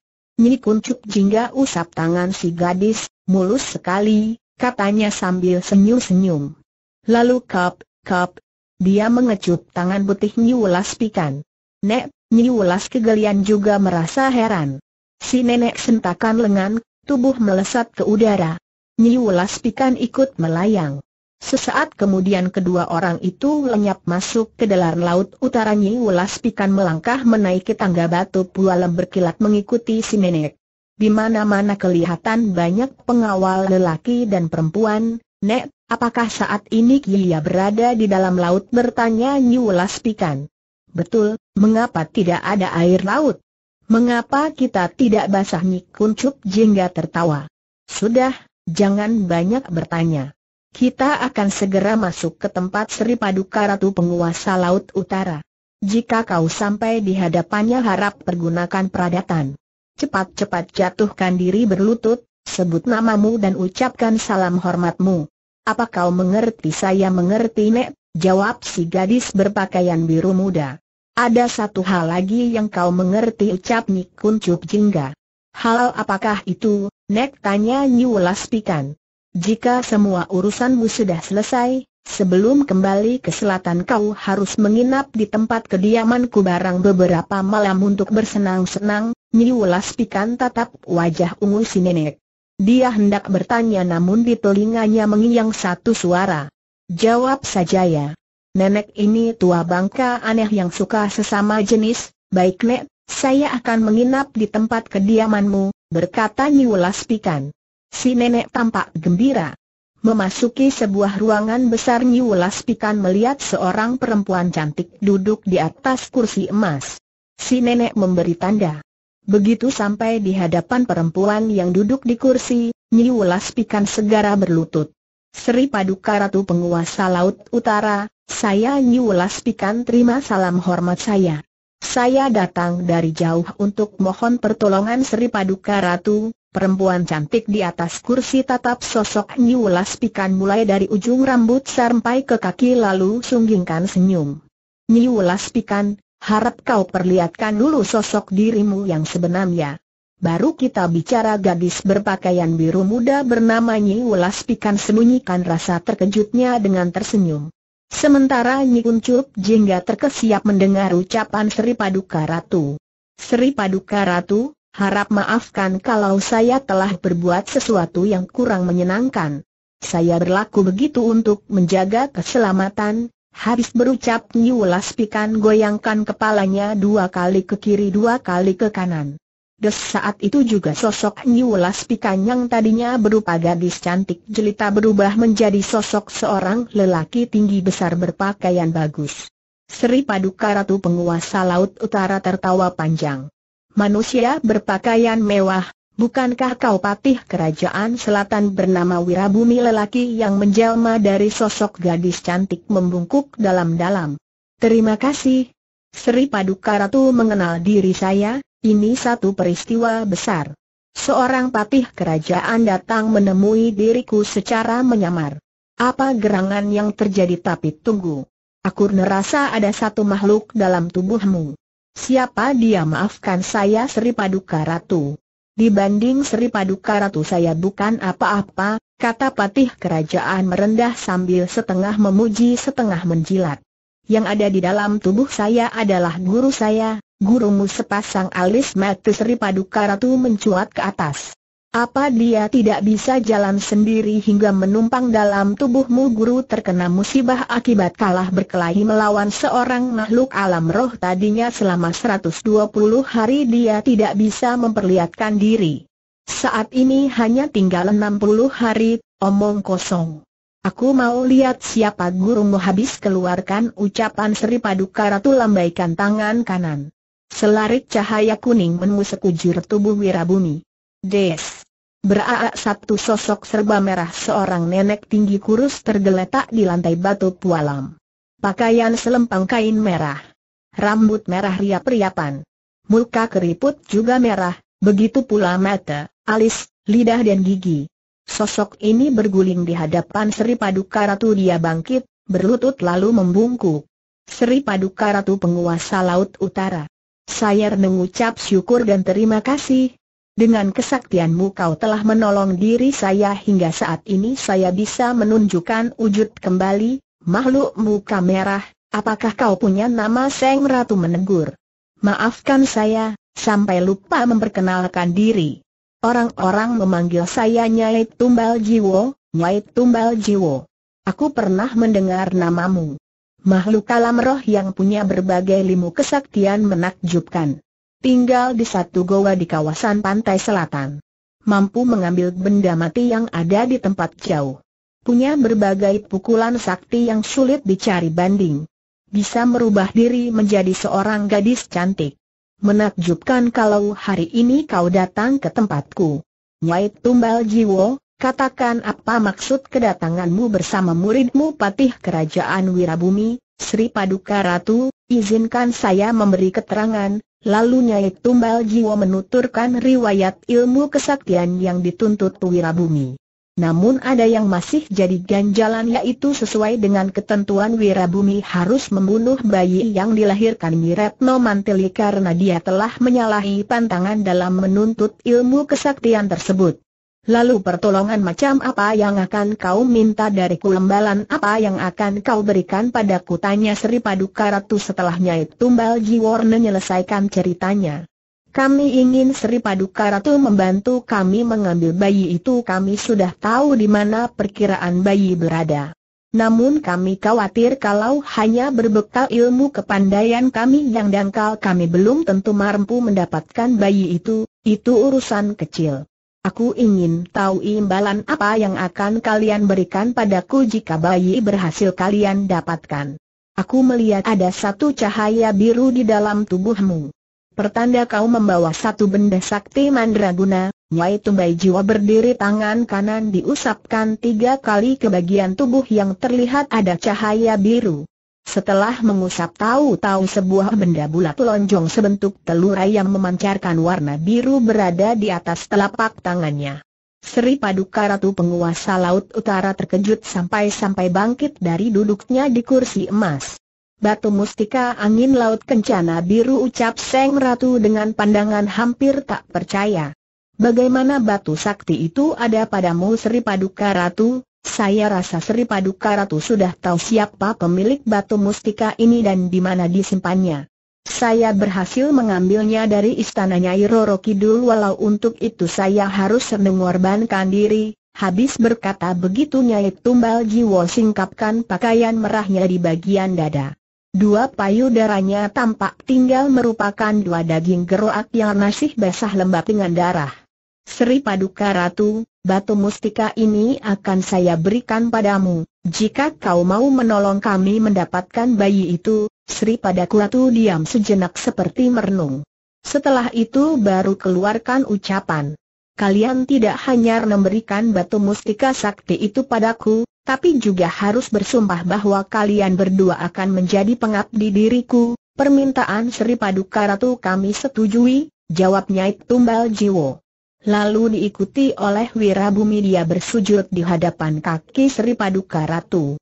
Nyai Tumbal Jiwo, katakan apa yang kau ketahui tentang keberadaan bayi itu. Apa bayi itu punya nama siapa nama bayi itu saya tidak tahu, Sri Paduka Ratu.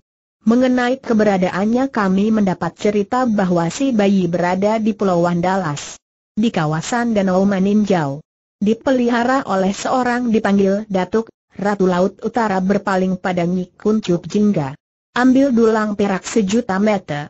Tuangkan air sejuta warna dan bawa ke sini. Nyi Kuncup Jingga segera berdiri, melangkah cepat memasuki sebuah lorong menuju satu ruangan rahasia. Tak lama kemudian dia muncul kembali bersama dua orang gadis yang memegang sebuah nampan bulat terbuat dari perak. Di dalam nampan terdapat cairan bening berwarna kebiruan. Nampan dibawa ke hadapan Sri Paduka Ratu. Setelah menatap air di dalam nampan beberapa lamanya, Sri Paduka Ratu kemudian sapukan tangan kanan di atas air. Asap biru mengepul. Begitu asap lenyap Seng Ratu memperhatikan ke dalam nampan tanpa berkesit. Beberapa lama kemudian dia memberi isyarat pada dua gadis. Keduanya tinggalkan tempat itu dengan membawa dulang. Nyai Tumbal Jiwo. Patih Wirabumi, kita menghadapi satu kekuatan besar. Aku melihat danau aku melihat seorang tua bermata biru, aku melihat seekor harimau putih bermata hijau dan aku memang melihat seorang bayi berusia sekitar 15 bulan. Jika kau memang inginkan bayi itu, sebelum tengah hari besok kita akan mendapatkannya. Namun tingkat kegagalan cukup gawat. Si bayi memiliki perlindungan hebat. Jika gagal masih ada kesempatan kedua. Ada petunjuk bahwa bayi itu akan dibawa ke tanah Jawa ini terserah apa kalian ingin melakukan sekarang atau menunggu sampai bayi berada di tanah Jawa Sri Paduka Ratu, kami dikejar waktu. Kalau boleh memohon kami ingin pekerjaan ini dilakukan sekarang juga katanya Tumbal Jiwo. Sri Paduka Ratu anggukan kepala. Lalu berpaing pada Nyi Kuncup Jingga. Nyi Kuncup Jingga, katakan kebiasaan yang kita lakukan dalam membuat perjanjian tolong-menolong, Nyi Kuncup Jingga membungkuk, lalu berdiri lurus-lurus menghadap ke arah Nyi Tumbal Jiwo dan Wirabumi.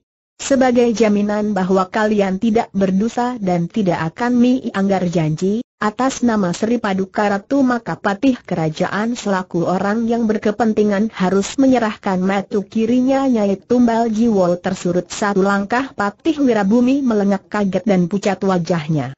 Sri Paduka Ratu, apakah ucapan Nyai Tumbal Jiwo dipotong oleh Sang Ratu? Metiana diambil akan dikembalikan jika urusan sudah selesai dan kalian memenuhi janji yaitu menjadi pembantu-pembantuku dan menyerahkan batu mustika angin laut kencana biru. Jika kalian berkenan katakannya, kalau tidak silahkan meninggalkan istanaku tapi batu sakti itu tetap harus diserahkan padaku, Nyai, Wirabumi berucap, memandang pada Nyai Tumbal Jiwo. Seolah minta pendapat. Sri Paduka Ratu kerajaan bisa diganti dengan mataku. Sri Paduka Ratu tidak menjawab yang menyahut adalah Nyi Kuncup Jingga. Apa yang sudah ditentukan Sri Paduka Ratu penguasa Laut Utara tidak bisa dirubah. Kalian cuma punya pilihan. Menerima atau pergi dan tinggalkan batu sakti. Bukankah batu itu bukan milik kalian? Kalian telah mencurinya dari Istana Ratu Selatan. Lagi pula kau telah menerima kebajikan dari Sri Paduka Ratu kau bisa menunjukkan wujud kembali dan tidak perlu menunggu 60 hari. Apa baas budimu pada Sri Paduka Ratu dan Kerajaan Laut Utara tapi nek, Sri Paduka Ratu, Wirabumi tidak lanjutkan ucapannya karena saat itu dia mendengar suaranya tumbal jiwa mengiang di telinganya. Wirabumi kita telah terjebak. Tidak mungkin mundur. Kita terpaksa menerima apa yang dikatakan orang. Kali ini kita dibikin celaka, nanti akan kita balas sambil sampaikan ucapan mengiang Nyai Tumbal Jiwo melirik ke arah Sri Paduka Ratu. Dia memperhatikan mata kelabu wanita cantik ini menatap tajam ke arahnya. Apakah dia tahu dan mendengar apa yang barusan aku ucapkan, pikir si nenek dan diam-diam merasa khawatir. Tapi Seng Ratu tampak tenang-tenang saja. Wirabumi keluarkan keringat dingin. Terlebih ketika dia mendengar Nyai Tumbal Jiwol berkata, Sri Paduka Ratu, kami menerima permintaanmu. Kau boleh mengambil matu kiri patih kerajaan, Sri Paduka Ratu berdiri dari duduknya, memberi isyarat pada Nyi Kuncup Jingga.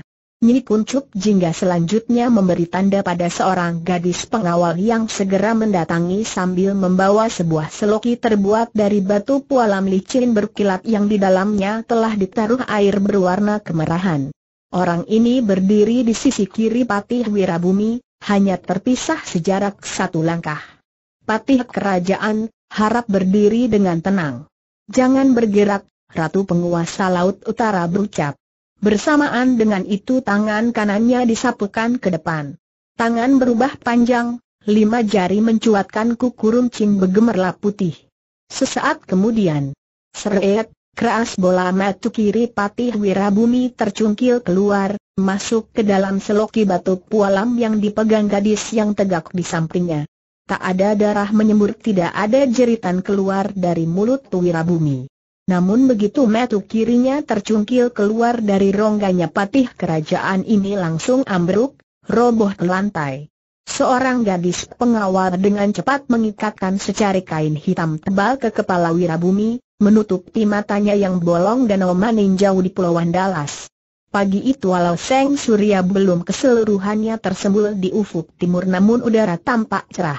Embun bertabur indah di dedaunan laksana batu permata. Burung-burung berkicauan di ranting pepohonan. Angin sertiup semilir sejuk menyegarkan. Di satu tempat yang sunyi dan jarang didatangi orang di kawasan timur danau karena dihalangi tebing batu besar, licin dan curam, tersembunyi di balik kerapatan pohon kayu manis terdapat sebuah rumah panggung kayu yang atapnya berlapis ijuk berbentuk gonjong lima. Dari bagian depan rumah bisa terlihat danau maninjau yang luas berair hijau kebiruan. Di sekeliling halaman rumah, terdapat delapan tiang bambu yang ujungnya disumpal dengan kain mengandung minyak. Sepintas bambu-bambu ini tampak seperti obor panjang padahal sebenarnya merupakan benda penangkal untuk melindungi rumah panggung dan penghuninya dari segala mara bahaya. Tiang-tiang bambu ini juga dipancang di tepi jalan setapak menuju pancuran tempat mandi di tepi Danau Maninjau. Seorang perempuan berusia setengah abad yang biasa dipanggil dengan nama Mande Saleha, Mande sama dengan ibu, tampak sedang menyapu bagian depan rumah panggung. Ketika dia mendengar suara tangisan bayi di ruang dalam, perempuan ini segera meletakkan sapu, setengah berlari masuk ke dalam rumah. Tak lama kemudian Mandel Salha keluar sambil menggendong seorang bayi berusia satu setengah tahun. Bayi montok ini berambut hitam lebat, dikuncir lurus di atas kepala. Pipi dan bibir tampak merah. Setengah merengek sang bayi mengusap-usap mata. Bayi ini bukan lain adalah Ken Permata, bayi Nyireto Mantil yang dulu diserahkan Jakatua pada Datuk Rao Basaluang Ameh. Anak rancak anak mande. Jangan menangis, kata Mande Salha sambil mengusap kepala si bayi lalu mencium pipinya kiri kanan berulang kali, rancak sama dengan cantik. Anak rancak Ken Permata, kalau matahari alam muncul kita mandi di pancuran. Sudah itu mande siapkan pisang manis untukmu.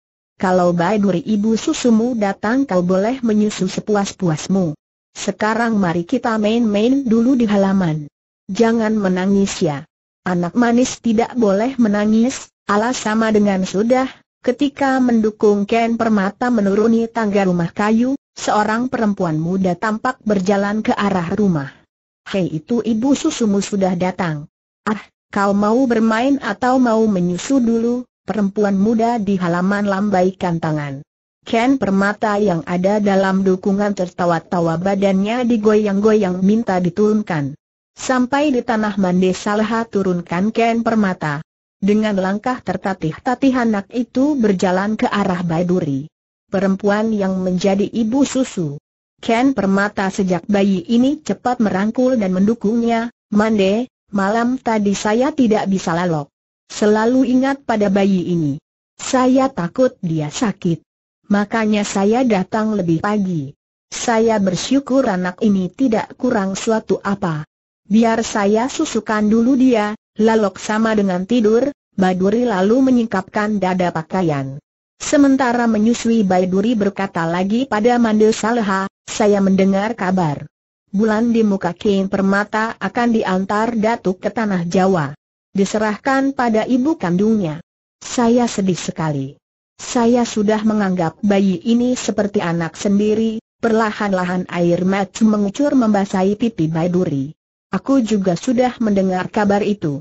Kita sama-sama menyayangi Ken Permata. Entah bagaimana rasanya kalau anak ini nanti tidak di sini lagi bersama kita, Mande Salha ikut sedih dan matanya berkaca-kaca. Mande, coba Mande bujuk Datuk. Minta padanya agar tidak membawa kain permata ke Jawa. Kita akan memeliharanya baik-baik sampai dia besar, Mande pernah mendengar cerita Datuk tentang bayi ini. Agaknya Datuk sudah punya keputusan begitu. Atau mungkin ada semacam perjanjian yang harus dilaksanakan Datuk, kalau begitu minta pada Datu agar salah satu dari kita atau kita berdua boleh ikut bersama Kain Permata ke Jawa, kalau ada kesempatan hal itu akan Mande sampaikan. Kata Mande Salha pula sambil mengusap kepala Kain Permata yang asik menyusu. Dari balik pohon-pohon kayu manis yang banyak tumbuh sekitar danau muncul seekor harimau putih besar bermata hijau. Binatang ini menggereng halus. Ken Permata, lihat sahabat kita Datuk Rao Bamato hijau pagi-pagi juga sudah datang. Tapi mengapa kilau hijau matanya agak redup mandi lihat? Mungkin Datuk sedang sakit? Mengapa ada cahaya biru di dadanya? Hai, Bayi Duri, kiranya harimau sakti itu datang bersama suamimu Mangkuto Alam, Bayi yang masih menyusui bayi kain permata berpaling. Dia melihat suaminya mangkut to alam jalan beriringan dengan harimau putih Datuk Rao Bamato hijau. Bayi kekhawatiranmu jadi kekhawatiran Uda juga. Uda merasa belum lega kalau tidak melihat sendiri keadaan anak ini. Ah, syukur dia tampaknya sehat dan baik-baik saja, kata Mangkuto Alam suami Bayi Duri seorang lelaki bertubuh ramping berkumis kecil dan mengenakan kopiah hitam mengusap kepala Ken Permata. Mungkin karena sudah puas menyusu Ken Permata mengangkat kepalanya dan berpaling sambil tertawa-tawa pada Mangkuto Alam, udah sama dengan kakak. Mari udah dukung dia sebentar. Sudah itu udah akan kembali ke ladang. Banyak pekerjaan yang belum selesai kulit kayu manis belum kering dijemur. Mudah-mudahan cuaca baik, hujan tidak turun hari ini, Baiduri menyerahkan bayi yang baru disusuinya pada Mangkuto Alam. Entah mengapa begitu berada dalam dukungan lelaki ini, bayi yang tadi masih tertawa-tawa tiba-tiba menjerit dan menangis keras. Hai ada apa anakku, jangan menangis, kata Mangkuto Alam sambil mengusap gunggung dan menggoyang-goyang tubuh Ken Permata. Si bayi bukannya diam malah semakin keras tangisnya. Serahkan pada Mande, biar Mande yang mendukung, kata Mande salah pula. Tapi Mangkuto Alam tidak menyerahkan Ken pemata pada pengasuhnya itu, malah dia membalikan tubuh dan melompat ke punggung harimau putih bermata hijau. Binatang ini menggereng keras lalu ada cahaya biru memancar dari tubuhnya. Saat itu juga harimau putih bersama Mangkuto Alam yang menggendongkan permata melesat ke udara laksana terbang, lenyap di balik kerapatan pepohonan kayu manis lalu di kejauhan terdengar suara benda berat dan besar masuk mencebur ke dalam danau meninjau. Mangde Salha dan Baiduri berteriak tiada henti. Keduanya berusaha mengejar ke danau. Namun harimau putih, Mangkuto Alam dan Kain Permata tidak kelihatan lagi. Di danau hanya tampak anak-anak yang bermain-main, dan beberapa biduk yang tengah melabuh ke daratan. Kedua perempuan itu tampak pucat, ketakutan setengah mati. Cilako, apa kata Datuk? Pasti kita berdua akan kena beranggadang ucap Mande Saleh, beranggadang sama dengan marah besar, Mande kita harus segera menemui Datuk. Kita harus memberitahu apa yang terjadi kata Baiduri tidak masuk di akal mande suamimu dan Datuk Rao Bamato Hijau akan menculik melarikan bayi itu, kata mande Salha pula dan perempuan usia setengah abad ini berjalan setengah berlari sambil menangis diikuti Baiduri. Aku juga tidak mengerti mande. Suamiku bukan orang jahat. Harimau putih itu adalah peliharaan dan kepercayaan Datuk Rao Basaluang Ameh, Sahut Baiduri pula di dalam goa batu pualam tempat kediaman Datuk Rao Basaluang Ameh. Sehabis menceritakan apa yang terjadi Mande Salha dan Baiduri jatuhkan diri menangis menggerung-gerung di hadapan Datuk Rao, sambil meratap berulang kali meminta ampun. Si orang tua walau berusaha bersikap tenang namun hatinya sangat khawatir. Hentikan tangis kalian. Apa yang telah terjadi tidak perlu disesali. Turut cerita kalian ada keanehan. Karena harimau putih Datuk Rao Bamato Hijau tidak pernah meninggalkan goa tempat kediamannya. Lalu menurut penglihatanku Mangkuto Alam saat ini tengah bekerja di ladangnya. Tentu saja Mande Salha dan Baiduri tercengang mendengar kata-kata Seng Datuk sesaat kemudian di mulut goa terdengar suara menggereng halus atap, dinding dan lantai goa bergetar. Dua perempuan berpaling dan melihat seekor harimau besar bermata hijau merunduk menutupi mulut Gua. Bagaimana mungkin tanda tanya ucap Mande Saleha. Lalu dia ingat sesuatu. Datuk, harimau putih yang membawa lari bayi itu, sepasang matanya memang betul warna hijau tapi Ambo ingat betul, metu hijaunya tidak berkilat bercahaya seperti maco harimau ini. Lalu sewaktu menggereng tanah tidak bergetar, Ambo sama dengan saya, itu berarti binatang yang kau lihat sebenarnya adalah makhluk jejadian. Apalagi yang kau ingat mande salah tubuhnya. Ada cahaya kebiruan di salah satu bagian tubuhnya. Di dekat dada, jawab mande saleh. Seng Datuk mengangguk. Makhluk harimau jejadian itu menanam benda sakti di dalam tubuhnya, Selesai berucap Datuk Rao Basaluang Ameh yang konon merupakan makhluk setengah manusia setengah roh dan telah meninggal dunia seratus tahun silam ini ulurkan tangan ke dinding gua. Jari-jari mencungkil batu dinding tiga kepingan batu sebesar ibu jari kini berada dalam genggaman tangannya. Jangankan dengan jari, Mempergunakan pahat sekalipun sulit bagi seseorang untuk mencungkil batu pualam dinding goa itu. Dapat dibayangkan kehebatan tenaga dalam Seng Datuk. Setelah tiga kepingan batu pualam ada dalam genggamannya Datuk Rao Basaluang Ameh berdiri. Dia mendungak ke atap gua sambil mulut berucap menyebut tiga nama. Datuk Rajonan Tongga di puncak Merapi. Datuk Gampo Langit di Tanah Bangko. Datuk Awan Putih di Gunung Sekicau, Aku Datuk Rao Basaluang Ameh butuh bantuanmu tutup 112 jalur langit, bumi dan air. Habis berkata begitu Datuk Rao Basaluang Ameh lemparkan tiga keping batu pualam ke atap goa. Berak. Des. Des. Des tiga batu melesat menembus atap goa, mencuat ke udara lepas dan berkiblat ketiga arah yang pertama menuju Gunung Merapi di utara yang kedua ke arah Tanah Bangko di tenggara dan batu ketiga ke jurusan Gunung Sekicau di selatan. Kalian berdua pulanglah. Panjatkan doa pada Yang Maha Kuasa agar bayi itu bisa kembali ke sini Mande Salha dan Bayi Duri sambil terisak-isak bangkit berdiri dan cepat-cepat meninggalkan goa. Namun Seng Datuk dan Harimau Putih lebih dulu sampai di rumah panggung. Datuk Rao Bamato hijau berdiri di halaman. Matanya yang tajam memperhatikan tiang-tiang bambu yang sengaja ditancap dan diisi dengan ilmu kesaktian untuk melindungi rumah dan penghuninya ternyata dia dapati semua tiang bambu itu telah dilumuri tumbukan daun sirih bercampur garam. Sirih dan garam lemu penangkal yang biasa dipakai orang sakti dari tanah Jawa, ucap Datuk Rao Basaluang Ameh dengan suara perlahan. Kalau Mandil Salha mengatakan mendengar suara benda masuk ke dalam danau, berarti para penculik melarikan diri melalui jalur air. Berarti ada orang sakti penguasa air di tanah Jawa yang mereka andalkan. Hanya ada dua orang sakti di sana. Dua-duanya perempuan dua-duanya bergelar ratu, Seng Datuk usap janggut putihnya. Tidak mungkin Nyai Roro Kidul yang melakukan, Datuk Rao Basaluang Ameh naik ke punggung harimau putih Datuk, kau tahu ke mana kita harus pergi. Kita tunggu para penculik di tanah seberang sebelum mereka sempat mendarat aku akan mengirim isyarat pada pendekar 212 Wiro Sableng agar dia bisa membantu kita.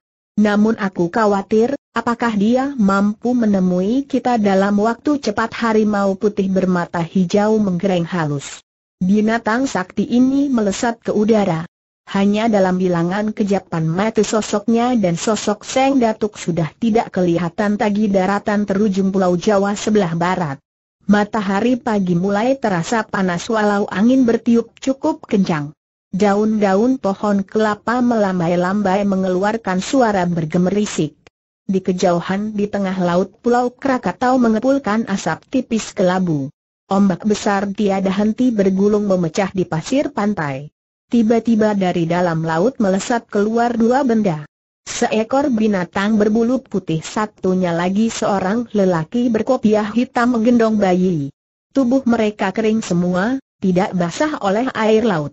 Sesaat kemudian di pasir pantai kelihatan seekor harimau putih melangkah ke arah deretan pohon kelapa.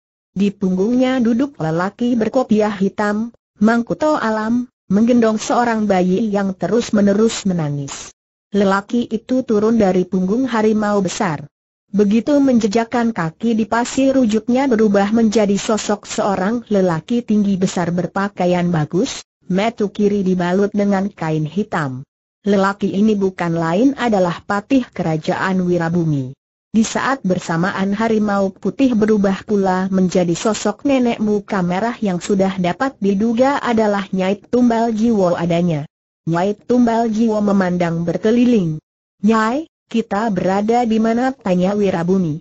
Nyai Tumbal Jiwo sekali lagi memperhatikan keadaan sekelilingnya. Aneh, aku merasa aneh. Seharusnya kita berada di Istana Ratu Utara, paling tidak di sekitar Teluk Losari tempat ini asing bagiku, sambil menggendong bayi Wirabumi memperhatikan dada sang guru. Nyai, cahaya biru di dadamu saya lihat redup. Si nenek menunduk, perhatikan dadanya. Wajah merah keriput berubah. Ada orang melakukan penangkalan. Mungkin juga orang itu yang membuat kita terpesat ke sini, Nyai Roro Kidul Wirabumi bertanya. Mungkin, tapi mungkin juga datuk yang tinggal di danau itu, jawab si nenek. Kalau begitu bayi ini harus kita habisi sekarang juga kata Wirabumi. Aku setuju. Cepat kau lakukan. Aku akan berjaga-jaga mengawasi perasaanku tidak enak sejak kita berada di pantai ini, Wirabumi jambak rambut bayi hingga kain permata menjerit keras. Nyai, bagaimana aku melakukan?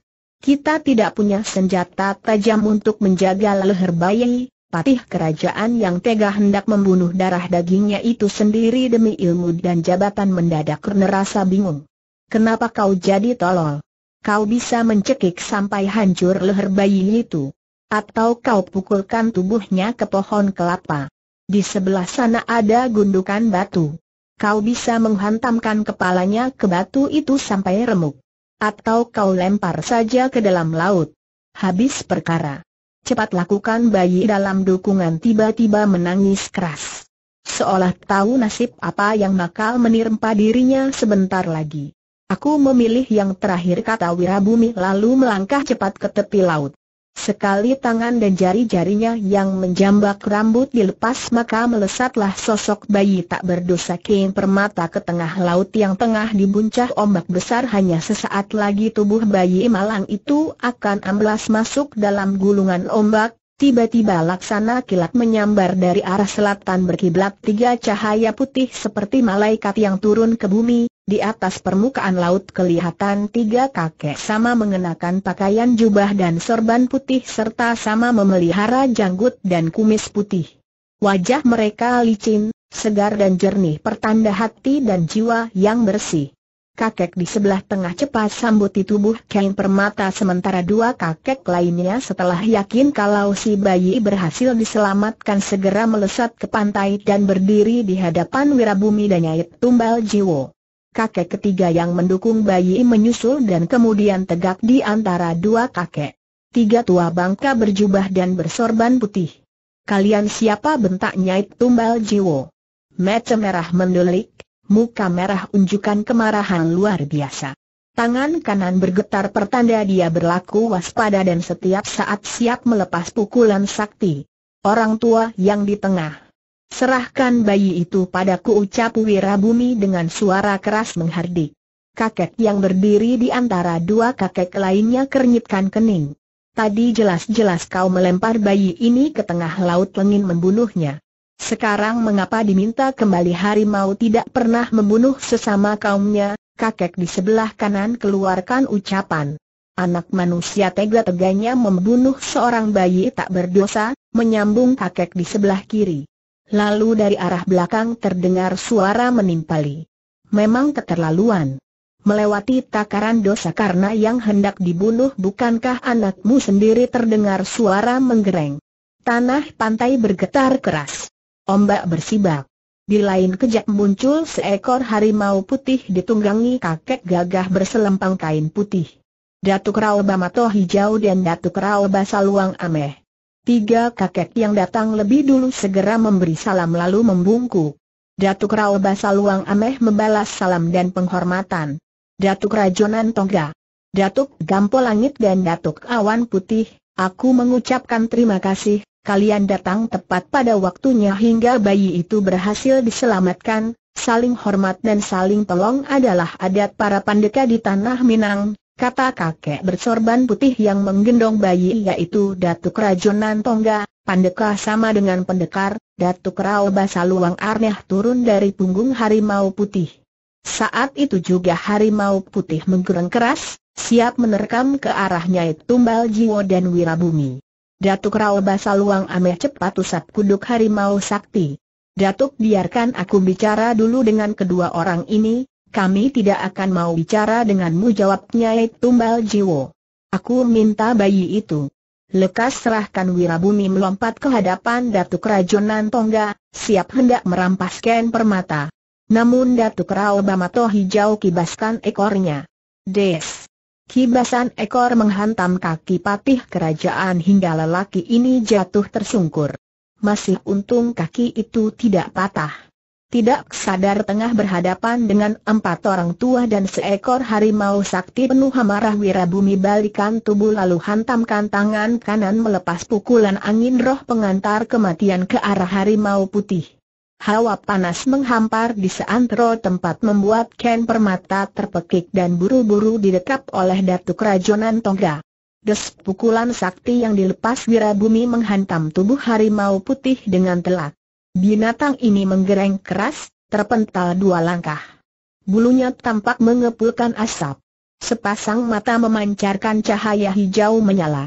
Sekali lompat saja, belum sempat Wirabumi berdiri, harimau putih ini sudah menerkam lehernya darah mengucur oleh tusukan tajam empat gigi besar. Patih kerajaan yang matu kirinya dibalut kain hitam ini meraung setinggi langit. Tolong Nyai Tumbal Jiwa langsung melompat sambil melepas tendangan kaki roh merobek langit. Namun dua datuk bersorban putih segera menghadang. Datuk awan putih tudingkan jari telunjuk tangan kanan ke bawah ke arah kaki si nenek saat itu Euga menyembur satu cahaya putih yang dengan kecepatan kilat berubah menjadi tali menggulung melibat kedua kakinya Tumbal jiwa mulai dari pergelangan terus ke bahu. Selagi dia tidak mampu bergerak, dari samping kiri Datuk Gampo Langit membuat gerakan kilat dan telunjuk jari tangan kirinya tahu-tahu sudah menempel di pelipis si nenek. Saat itu juga Nyai Tumbal Jiwo merasakan sekujur tubuhnya mulai dari ubun-ubun sampai ke kepala laksana digarang bara menyala. Sadar dirinya tak bisa lolos maka Nyai Tumbal Jiwo keluarkan salah satu ilmu andalan yaitu di balik asap roh mencari pahala. Mulut keriputnya menyembur. Asap hitam pekat menebar menutup pemandangan dan memerihkan mata. Biasanya semburan ini akan diikuti dengan tendangan atau pukulan mematikan.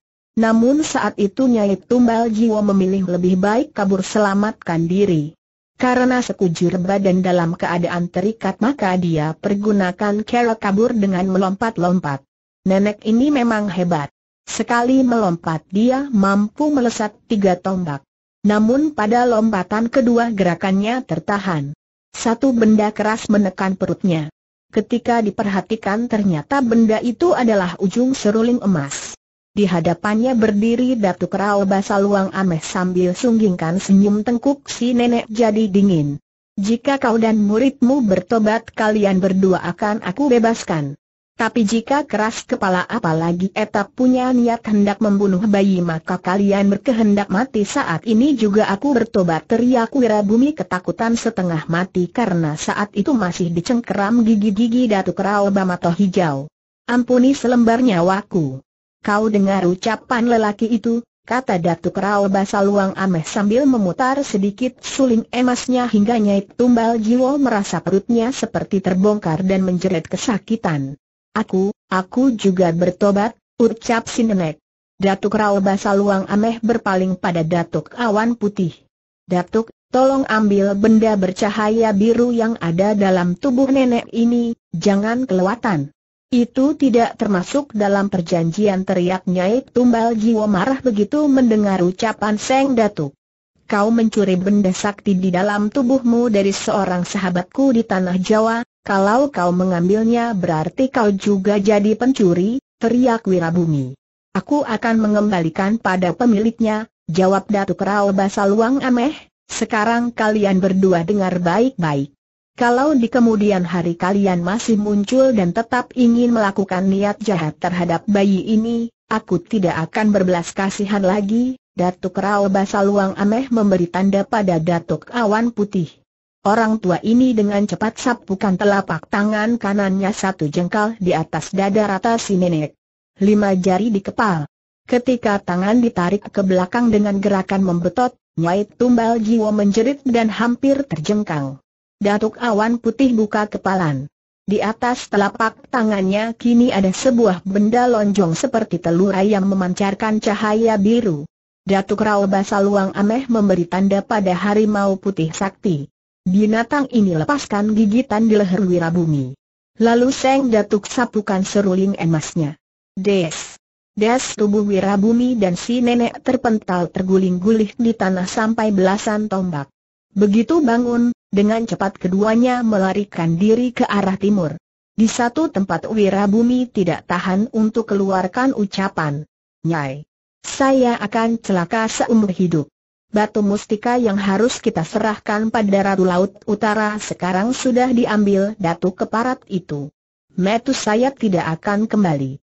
Saya akan buta sebelah sampai mati. Ratu Keparat itu. Dia menipu kita.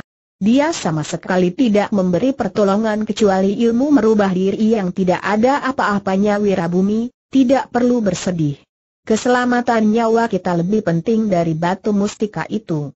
Selain itu kita masih punya kesempatan untuk menghabisi bayi itu. Bukankah Ratu Laut Utara memberitahu bahwa bayi itu akan dibawa ke tanah Jawa ini? Kita tinggal mencari tahu di mana dan kapan waktunya. Aku punya dugaan kejadiannya tidak akan lama lagi, Wirabumi tidak pedulikan ucapan sang guru. Dia tetap mengumpat, tapi mata kiri saya ini nyai. Saya mana bisa hidup saya mana bisa hidup seperti ini. Patih kerajaan bermata buta sebelah walau matamu buta dua-dua aku tetap suka padamu. Mari kita mencari tempat untuk bermesraan, Nyai, dalam keadaan seperti ini sebaiknya lain kali saja hal itu kita lakukan, jika kau tidak mau melayaniku, berarti hubungan kita cukup sampai di sini, tunggu Nyai jangan pergi. Saya akan memenuhi permintaanmu kata Wirabumi pula. Si nenek tertawa gembira lalu menarik lengan Wirabumi membawanya ke balik semak belukar. Kau tahu, darah yang membasahi pakaian dan tubuhmu membuat aku benar-benar terangsang. Akan kuhirup darah yang ada di lehermu tak selang berapa lama setelah Wirabumi dan Nyait Tumbal Jiwa menggulingkan diri ke balik semak belukar, dua orang berkelebat cepat ke arah barat. Namun salah seorang dari mereka tiba-tiba menarik lengan kawannya seraya berbisik. Ada pemandangan asyik, yang bicara adalah seorang nenek berambut kebu berjubah kuning. Telinga dihias anting terbuat dari tulang manusia. Si nenek bukan lain adalah kembaran tiga yang sepuh kembar tilu. Nek, matamu jetalatan saja. Apa maksudmu? Apa yang kau lihat pemuda gondrong yang pendekar 212 Wiro Sableng adanya bertanya. SSTT jangan bicara kelewat keras nanti mereka tahu. Ayo, membungkuk, ikuti aku, Wiro ikuti si nenek mengendap-endap ke balik sederetan pohon kelapa.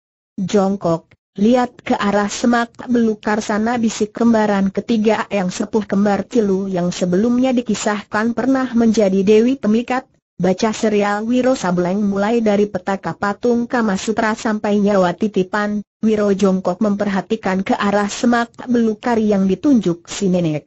Matanya membesar. Kepala digaruk. Astaga! Itu patih kerajaan Wirabumi dan Nyait Tumbal Jiwo. Gila! Berbuat mesum di siang bolong di tempat terbuka begini. Kenapa matu kirinya dibalut? Banyak darah di pakaiannya, ucap Wiro. Si nenek menimpali. Wah, tua bangka perempuan itu hebat sekali goyangannya. Hem, eh lihat. Si nenek membalik. Wujudnya berubah jadi gadis cantik eh. Wah gila. Goyang terus tanda seru hik, hik, hik nek, aku muak kita tinggalkan tempat ini. Kalau mereka ada di sini pasti telah terjadi sesuatu sebelumnya. Kita terlambat.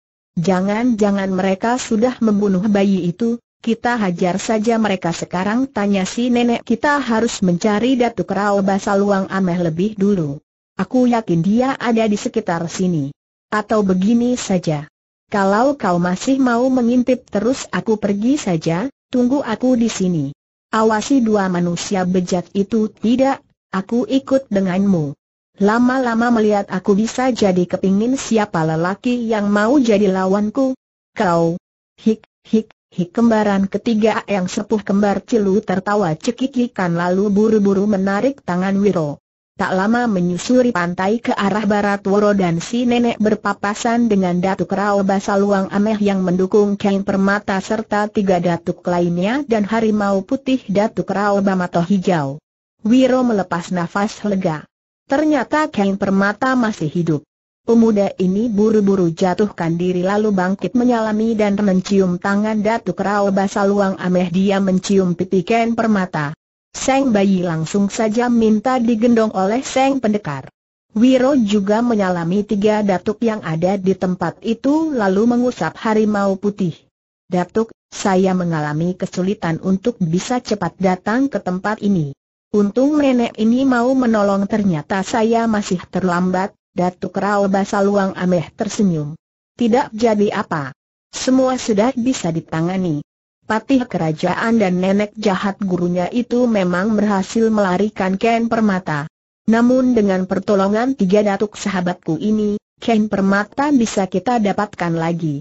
Aku akan segera membawanya kembali ke Danau Maninjau, Seng Datuk berpaling pada kembaran ketiga yang sepuh kembar Tilu. Anak muda, siapa nenek sakti sahabatmu ini mendengar orang bertanya perihal dirinya dengan sikap genit si nenek cepat-cepat maju dua langkah, membungkuk lalu berkata, Maafkan, aku sampai lupa peradatan tidak memperkenalkan diri. Aku nenek jelek dari alam roh. Kembaran ketiga yang sepuh kembar Tilu. Terakhir sekali orang-orang memberiku nama Dewi Pemikat, si nenek tutup ucapannya dengan tertawa lebar lalu kedip-kedipkan mata pada Seng Datuk. Dia juga kedip-kedipkan mata pada tiga datuk lainnya. Wiro cepat-cepat menyikut rusuk si nenek. Aduh si nenek terpekik tapi kemudian kembali genit. Para sahabat orang gagah sekalian yang datang dari tanah seberang izinkan aku memperlihatkan wujudku sebagai Dewi Pemikat. Kalau nanti kita bertemu lagi jangan bilang kalian tidak mengenali diriku, si nenek lalu putar tubuhnya.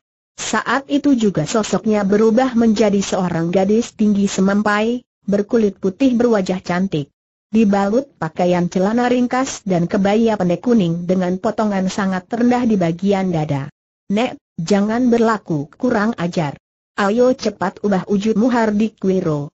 Si gadis tertawa cekikikan putar tubuh satu kali hingga wujudnya kembali seperti semula yaitu seorang nenek berambut kelabu, bermata merah dan bermulut perut.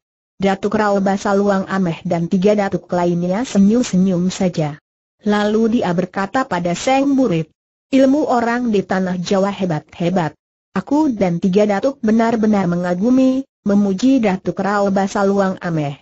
Membuat si nenek tersenyum girang, lalu dia berpaling pada Wiro. Anak muda, ingat baik-baik satu bulan di muka aku akan membawa bayi dalam dukunganmu itu ke tanah Jawa. Kau harus bisa mendatangkan Miretno Mantili. Untuk sementara rencana pertemuan adalah di pantai selatan kawasan Parangtritis. Di satu pulau kecil bernama Watu Gilang. Harinya malam satu suro, Wiro mengangguk berulang kali. Seng Datuk tatap wajah pendekar 212 sejurus lalu berkata, Aku melihat ada ganjalan dalam dirimu. Apakah kau tahu di mana ibu bayi ini berada? Apakah selama ini kau tidak mendampinginya seperti pintaku dulu Datuk? Maafkan saya. Saat ini saya memang tidak tahu di mana Nyi Retno Mantili berada. Dia pergi begitu saja sewaktu saya melarangnya membunuh patih kerajaan yang adanya suaminya sendiri, kalau begitu cari perempuan itu sampai dapat. Dia sudah harus bersamamu sebelum renalan satu suro, baik Datuk, akan saya ingat hal itu baik-baik Datuk, kata pendekar 212 sambil melirik pada benda lonjong biru yang ada di tangan Datuk awan putih. Kalau begitu sudah saatnya kami semua meninggalkan tempat ini, Wiro buru-buru menyalami Seng Datuk dan tiga Datuk lainnya. Setelah mencium kain permata bayi ini diserahkan pada Datuk. Wiro juga memeluk harimau putih. Atas permintaan Datuk Rao Basaluang Ameh, Datuk Awan Putih menyerahkan batu mustika angin laut kencana biru pada pendekar 212 dengan pesan agar nanti diserahkan pada pemiliknya yaitu Nyai Roro Kidul.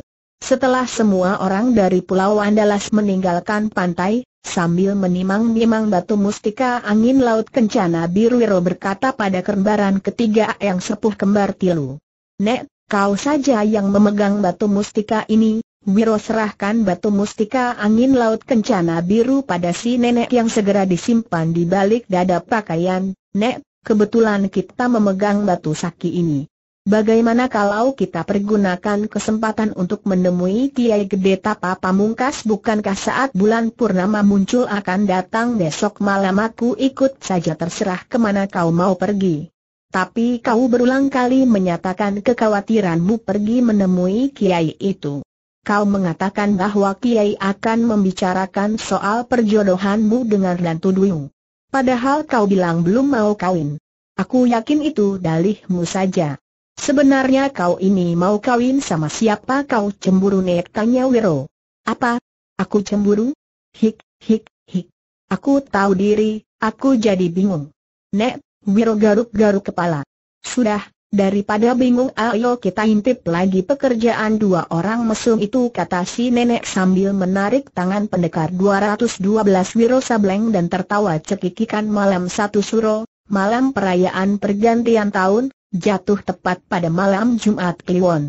Kawasan pantai Parangkusumo yang terletak di sisi barat pantai Parangtritis dipenuhi jubalan manusia. Semakin malam semakin banyak orang yang datang walau hujan rintik-rintik sempat turun. Sayup-sayup di kejauhan, di atas sebuah panggung tinggi serombongan pemain gamelan memberikan hiburan. Para pedagang bertebaran di mana-mana menggelar dagangan paling banyak tukang kembang dan penjual kemenyan. Di tepi pantai puluhan perahu menunggu penumpang yang ingin mengarungi laut kidul atau menyeberang ke sebuah pulau yang tidak berapa jauh letaknya dari pantai Parangtritis dan Parangkusumo. Di atas pulau ini tampak dua buah bukit karang tinggi menjulang yang oleh penduduk setempat disebut sebagai Watu Gilang. Baik di pantai maupun di pulau tampak banyak sekali umbul-umbul dan bendera besar kecil aneka warna. Ketika malam tiba, ratusan obor dinyalakan sampai ke tengah laut hingga keadaan terang benderang tidak beda seperti sore hari. Orang banyak yang datang ada yang berziarah ke makam seorang syekh namun biasanya paling banyak berperahu menuju pulau dan naik ke atas Watu Gilang. Hanya saja saat itu ombak di tengah laut sabung menyabung besar sekali sementara angin bertiup kencang mengeluarkan suara menguing panjang. Karenanya tidak ada orang yang berperahu ke tengah laut atau menyeberang menuju pulau. Selagi orang banyak mengharap malam itu cuaca segera pulih dan laut menjadi tenang tiba-tiba dari arah pulau melesat seorang berpakaian hitam. Kelihatannya dia seperti meluncur di atas permukaan laut, naik turun dipermainkan gelombang, meliuk-liuk di antara bambu obor yang diapungkan di permukaan laut. Sebenarnya salah satu kaki orang ini menjajak di atas sepotong papan kecil. Orang ramai di sepanjang pantai bersorak riuh menyaksikan pemandangan ini.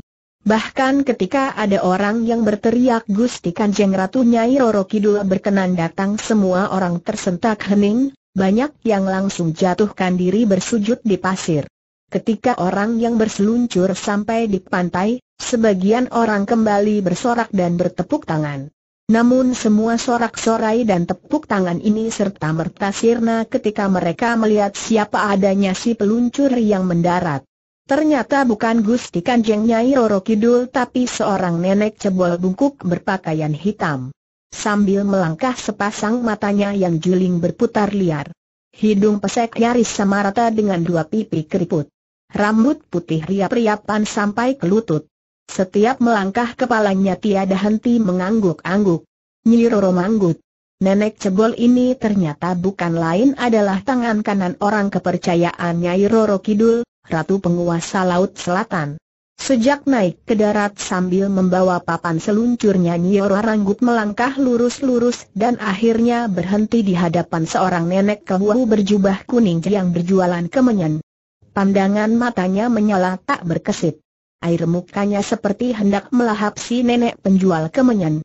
Orang banyak mulai berkerubung. Nenek bungkuk, kau memandangku secara aneh. Apakah kau mau membeli kemenyan untuk ziarah? Aku juga menjual pendupaan dan arang menyala. Harga di sini lebih murah dari tempat lain tua bangka pencuri. Manis juga mulutmu hardik Nyai Roro Manggut membuat nenek penjual kemenyan yang bukan lain adalah kembaran ketiga yang sepuh kembar tilu berjingkrak dan langsung berdiri. Sambil berkacak pinggang si nenek kembaran ketiga berkata, mulutku memang manis. Dan kau boleh tanya pada semua orang di tempat ini. Jelek-jelek begini aku lebih bagus dari kau. Nenek jereng bongkok bau amis. Kalau kau tidak punya uang untuk membeli kemenyan menyingkir dari depan hadapanku. kau membuat sial daganganku saja orang semakin banyak mengeliling tempat itu. Ada yang berteriak, sudah, cakar saja Nek, orang banyak bersorak riuh rendah. Dimaki jereng bongkok dan bawa misnya Roro Manggut mendidih amarahnya telunjuk tangan kanan ditudingkan ke dada nenek di depannya hingga kembaran ketiga yang sepuh kembar telu terjajar satu langkah. Hal ini membuat si nenek kaget. Heh, nenek jelek, kau ini siapa sebenarnya? Apa mau munyai Roro Manggut delikan mata, menatap tajam tak berkesip dengan matanya yang jereng. Tua bangka bermulut perut bapet. Dengar baik-baik kata-kataku karena aku tidak akan mengulang. Serahkan benda bercahaya biru yang ada di balik dada pakaianmu. Sekarang juga kembaran ketiga yang sepuh kembar telu karuan saja menjadi kaget karena sampai saat itu dia memang masih menyimpan batu mustika angin laut kencana biru yang dititipkan Wiro. Si nenek memandang berkeliling. Matanya ditujukan ke deretan perahu di tepi pantai mencari-cari kalau-kalau Wiro ada di sekitar situ. Sebelumnya mereka memang datang bersama ke pantai Parang Tritis. Karena sesuai janji Datuk Rao Basaluang Ameh, bayi kain permata akan dibawa ke tempat itu di malam perayaan Sabtu Suro. Selain itu Wiro mengatakan bahwa dia sudah menyerap kabar kalau Nyiretno Mantili dan Kemuning si boneka kayu juga akan datang ke tempat itu. Maklum kalau kejadian pertemuan ini akan banyak halangan bahkan bahaya maka untuk berjaga-jaga si nenek mengawasi keadaan dengan berpura-pura menyamar jadi pedagang kemenyan. Wiro sendiri memisahkan diri menyamar jadi awak perahu sewaan. Sekali-sekali dia meninggalkan perahu, berkeliling mencari apakah Nyeretno Mantili sudah ada di tempat perayaan itu. Kembaran ketiga yang sepuh kembar Cilu berkata, Nenek bongkok, kau juga dengar ucapanku. Jika kau seorang sahabat, jangan minta yang bukan-bukan. Benda yang ada di balik pakaianku adalah titipan seseorang. Aku akan mempertahankan walau harus mampus sampai tujuh kali. Hik, hik. Tapi jika kau seorang musuh seorang begal perempuan mari kita bertarung sampai sama-sama tewas tua bangka jahanam. Enak saja mulutmu menuduhku begal perempuan. Aku adalah Nyai Roro Manggut, mewakili junjungan ratu penguasa laut selatan. Batu mustika yang ada di balik pakaianmu adalah miliknya puah. Setahuku para pembantu Ratu Nyai Roro Kidul cantik-cantik semua tidak ada yang jelek dan bau amis sepertimu.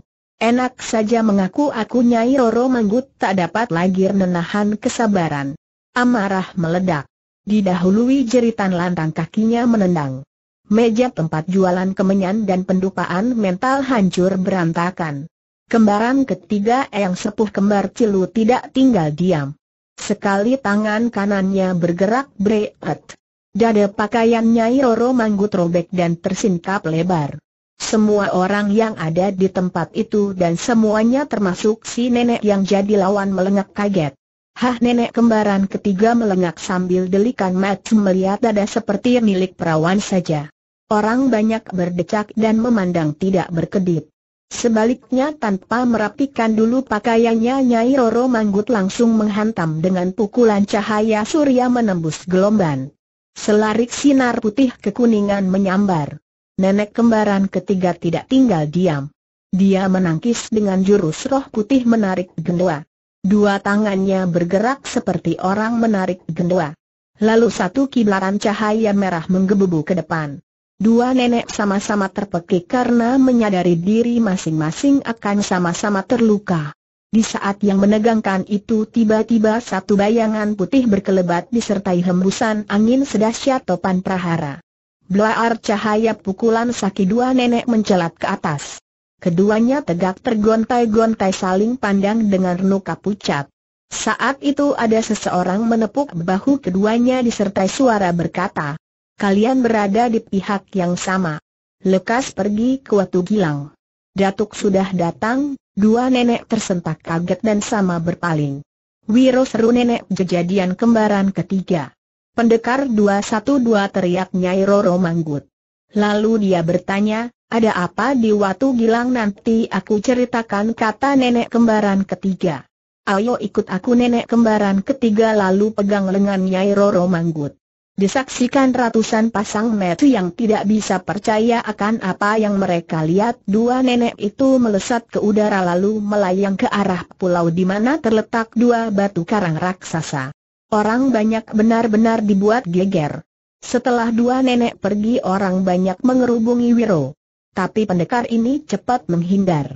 Dia berlari ke arah pantai sebelah timur di mana dilihatnya serombongan anak muda tengah mempermainkan seorang perempuan cantik bertubuh kecil yang bukan lain adalah Nyiretno Mantili. Kalau mula-mula hanya mengganggu dengan ucapan kini para pemuda itu mulai berani meraba-raba tubuh Nyiretno dan menarik-narik boneka kayu dari bedongan sambil secara kurang ajar mengelus dada Nyiretno. Begitu sampai di hadapan para pemuda, tangan dan kaki pendekar 212 bekerja bakbuk-bakbuk. Lima orang pemuda nakal terkapar di tanah. Dua pingsan dengan kepala benjut tiga meliuk-liuk sambil pegang hidung dan bibir yang pecah berdarah. Kemuning. Bapakmu datang teriak Nyiretno Mantili. Nyiretno aku benar-benar bersyukur kau mau datang. Tadinya aku khawatir, Wiro memeluk perempuan itu erat-erat lalu berbisik. Ikut aku jalan-jalan. Aku akan membawamu ke pulau di tengah laut sana, tapi ombak begitu besar.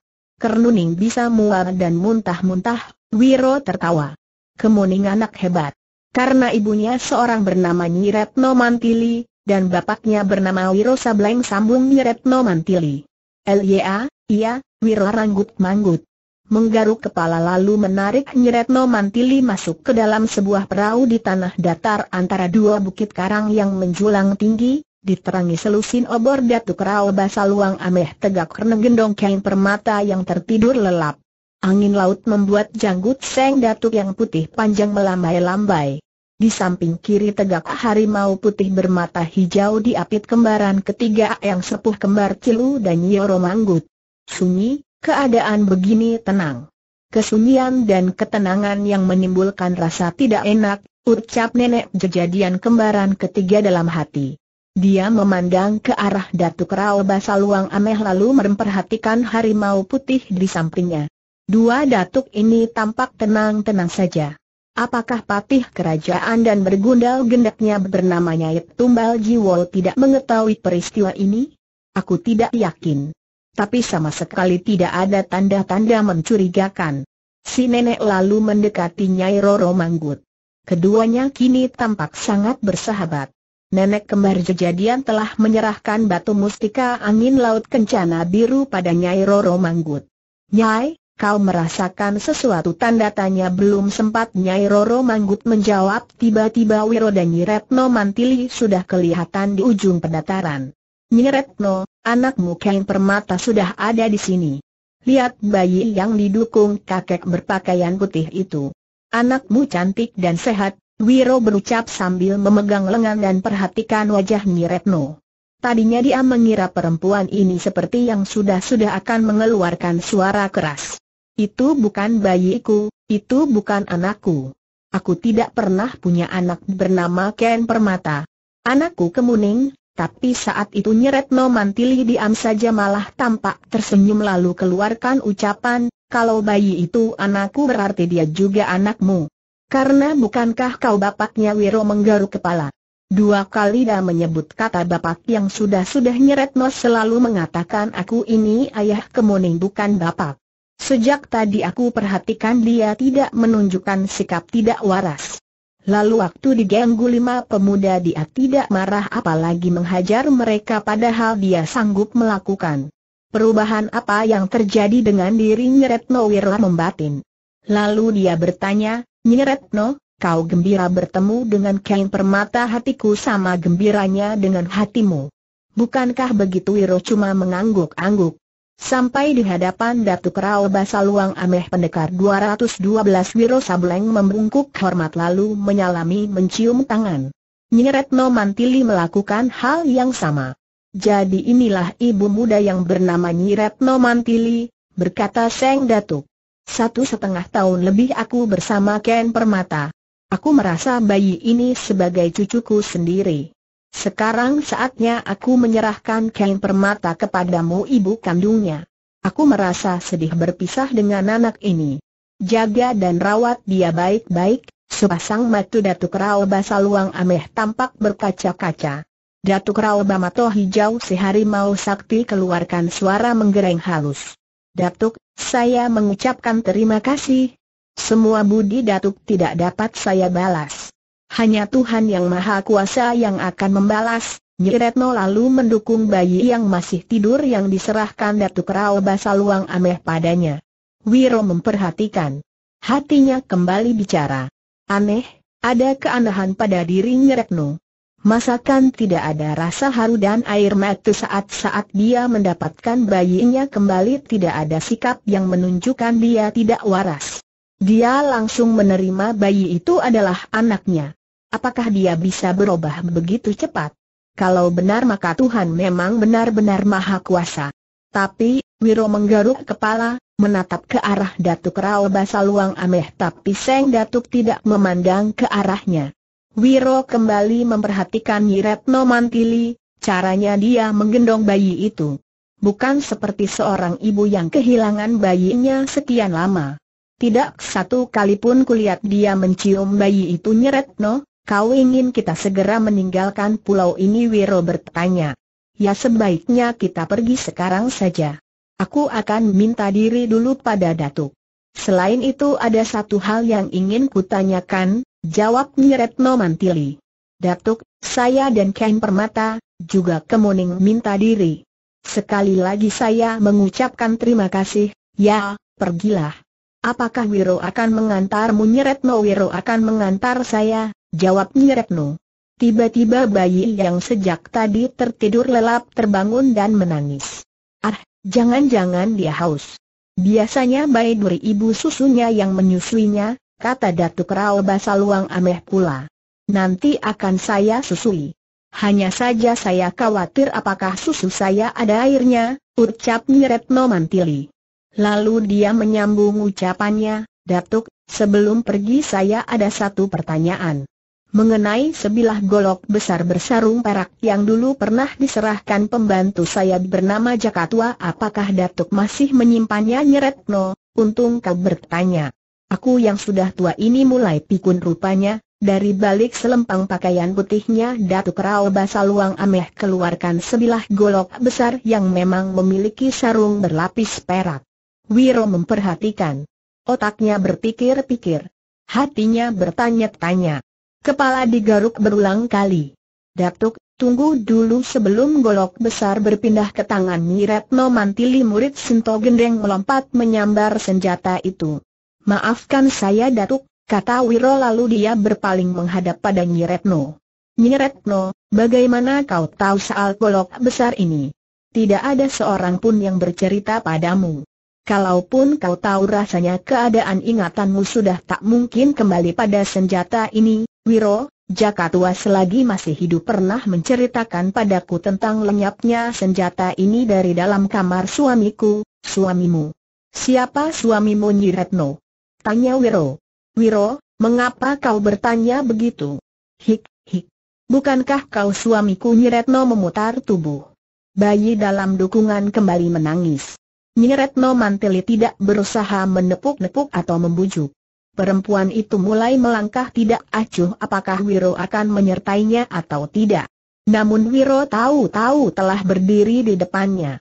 Mece menatap tak berkesip, lalu mulut berucap yang membuat semua orang yang ada di tempat itu terkejut. Kau bukan Nyi Retno Manteli Seret Wiro cabut gelolok dari dalam sarung.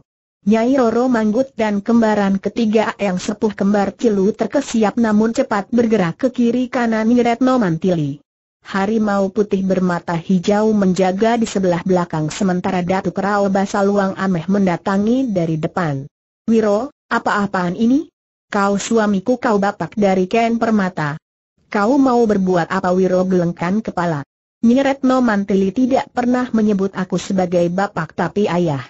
Katakan siapakah sebenarnya tiba-tiba dari arah laut berlari mendatangi seorang lelaki tua berpakaian basah kuyup.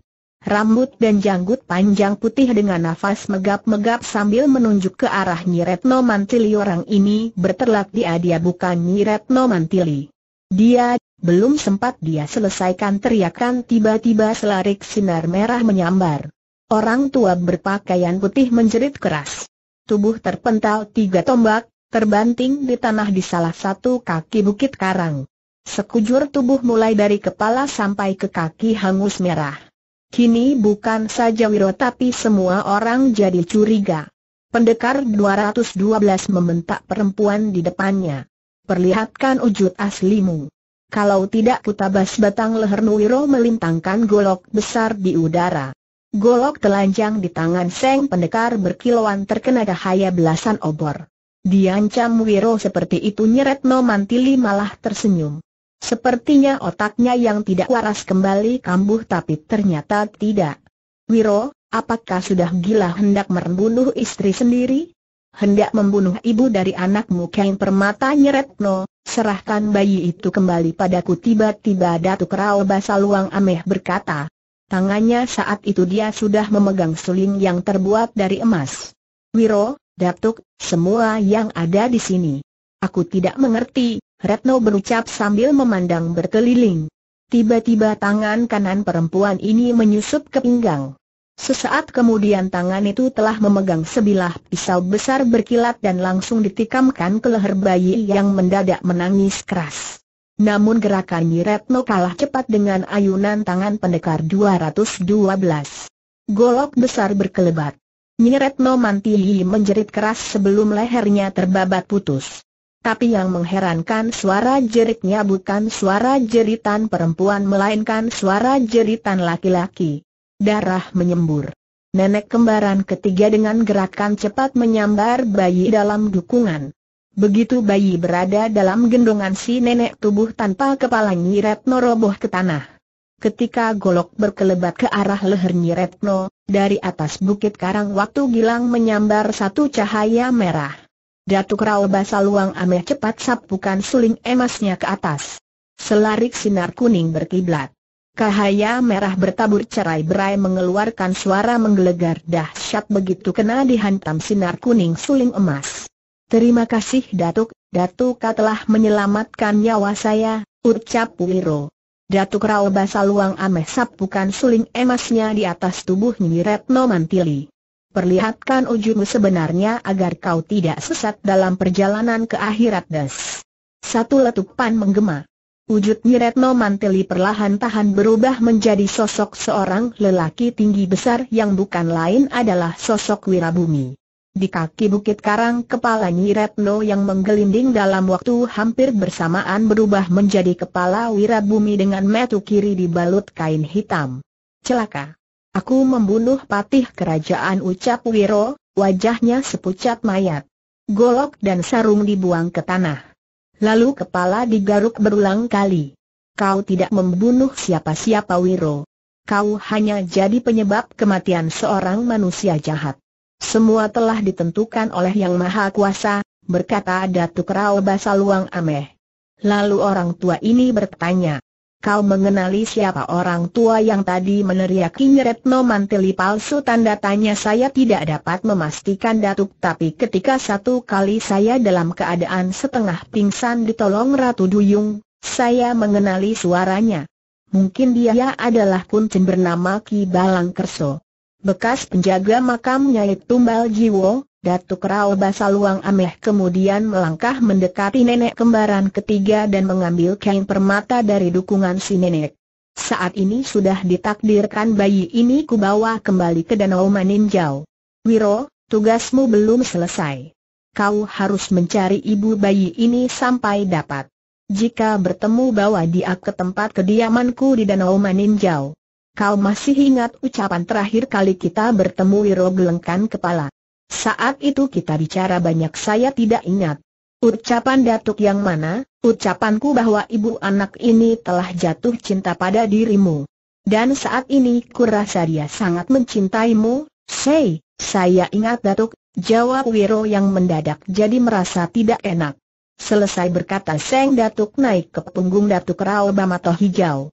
Sesaat kemudian orang-orang di pantai Parang Tritis, dan Parang Kusumo gempar melihat satu benda putih melesat di langit malam yang mulai cerah karena hujan gerimis telah berhenti. Di Pulau Watu Gilang pendekar 212 Wiro Sableng masih termangu-mangu ketika di telinganya tiba-tiba ada suara perempuan mengiang. Aku nyait tumbal jiwo.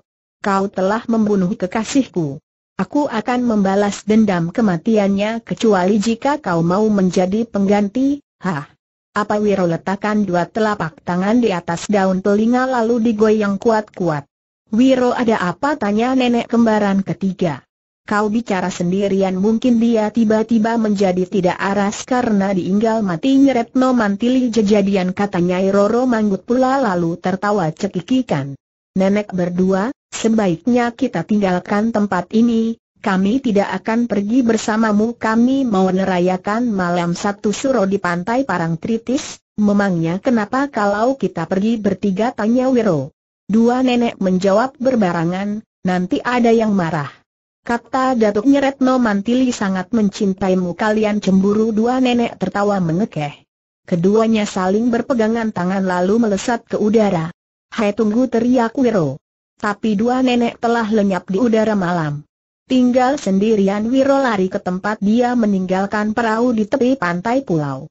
Ketika hendak mengambil kayu pendayung mendadak dia melihat seseorang perempuan muda cantik jelita, berpakaian sangat seronok hingga sebagian besar tubuhnya tersingkap berbaring menelentang di lantai perahu. Dua kaki sengaja dikembang dan diletakkan di atas sisi perahu. Kau siapa? tanya Wiro. Si cantik yang ditanya tersenyum. Barisan giginya kelihatan rata dan putih nama kunyi ulas pikan. Mulai malam ini kau adalah kekasihku pengganti Wirabumi yang telah kau bunuh, Si cantik dalam perahu tertawa cekikikan lalu sosoknya lenyap dari pemandangan. Nyiulas pikan, ucap Wiro sambil menggaruk kepala. Aku tidak pernah mendengar nama itu sebelumnya tapi aku ingat. Wajah gadis tadi sama dengan wajah gadis yang ditiduri Wirabumi di balik semak belukar di pantai. Pasti dia jejadiannya itu tumbal jiwa Wiro berbalik. Murid Sinto Gendeng melengak kaget dan menyumpah panjang pendek karena begitu berbalik kakinya menendang sesuatu.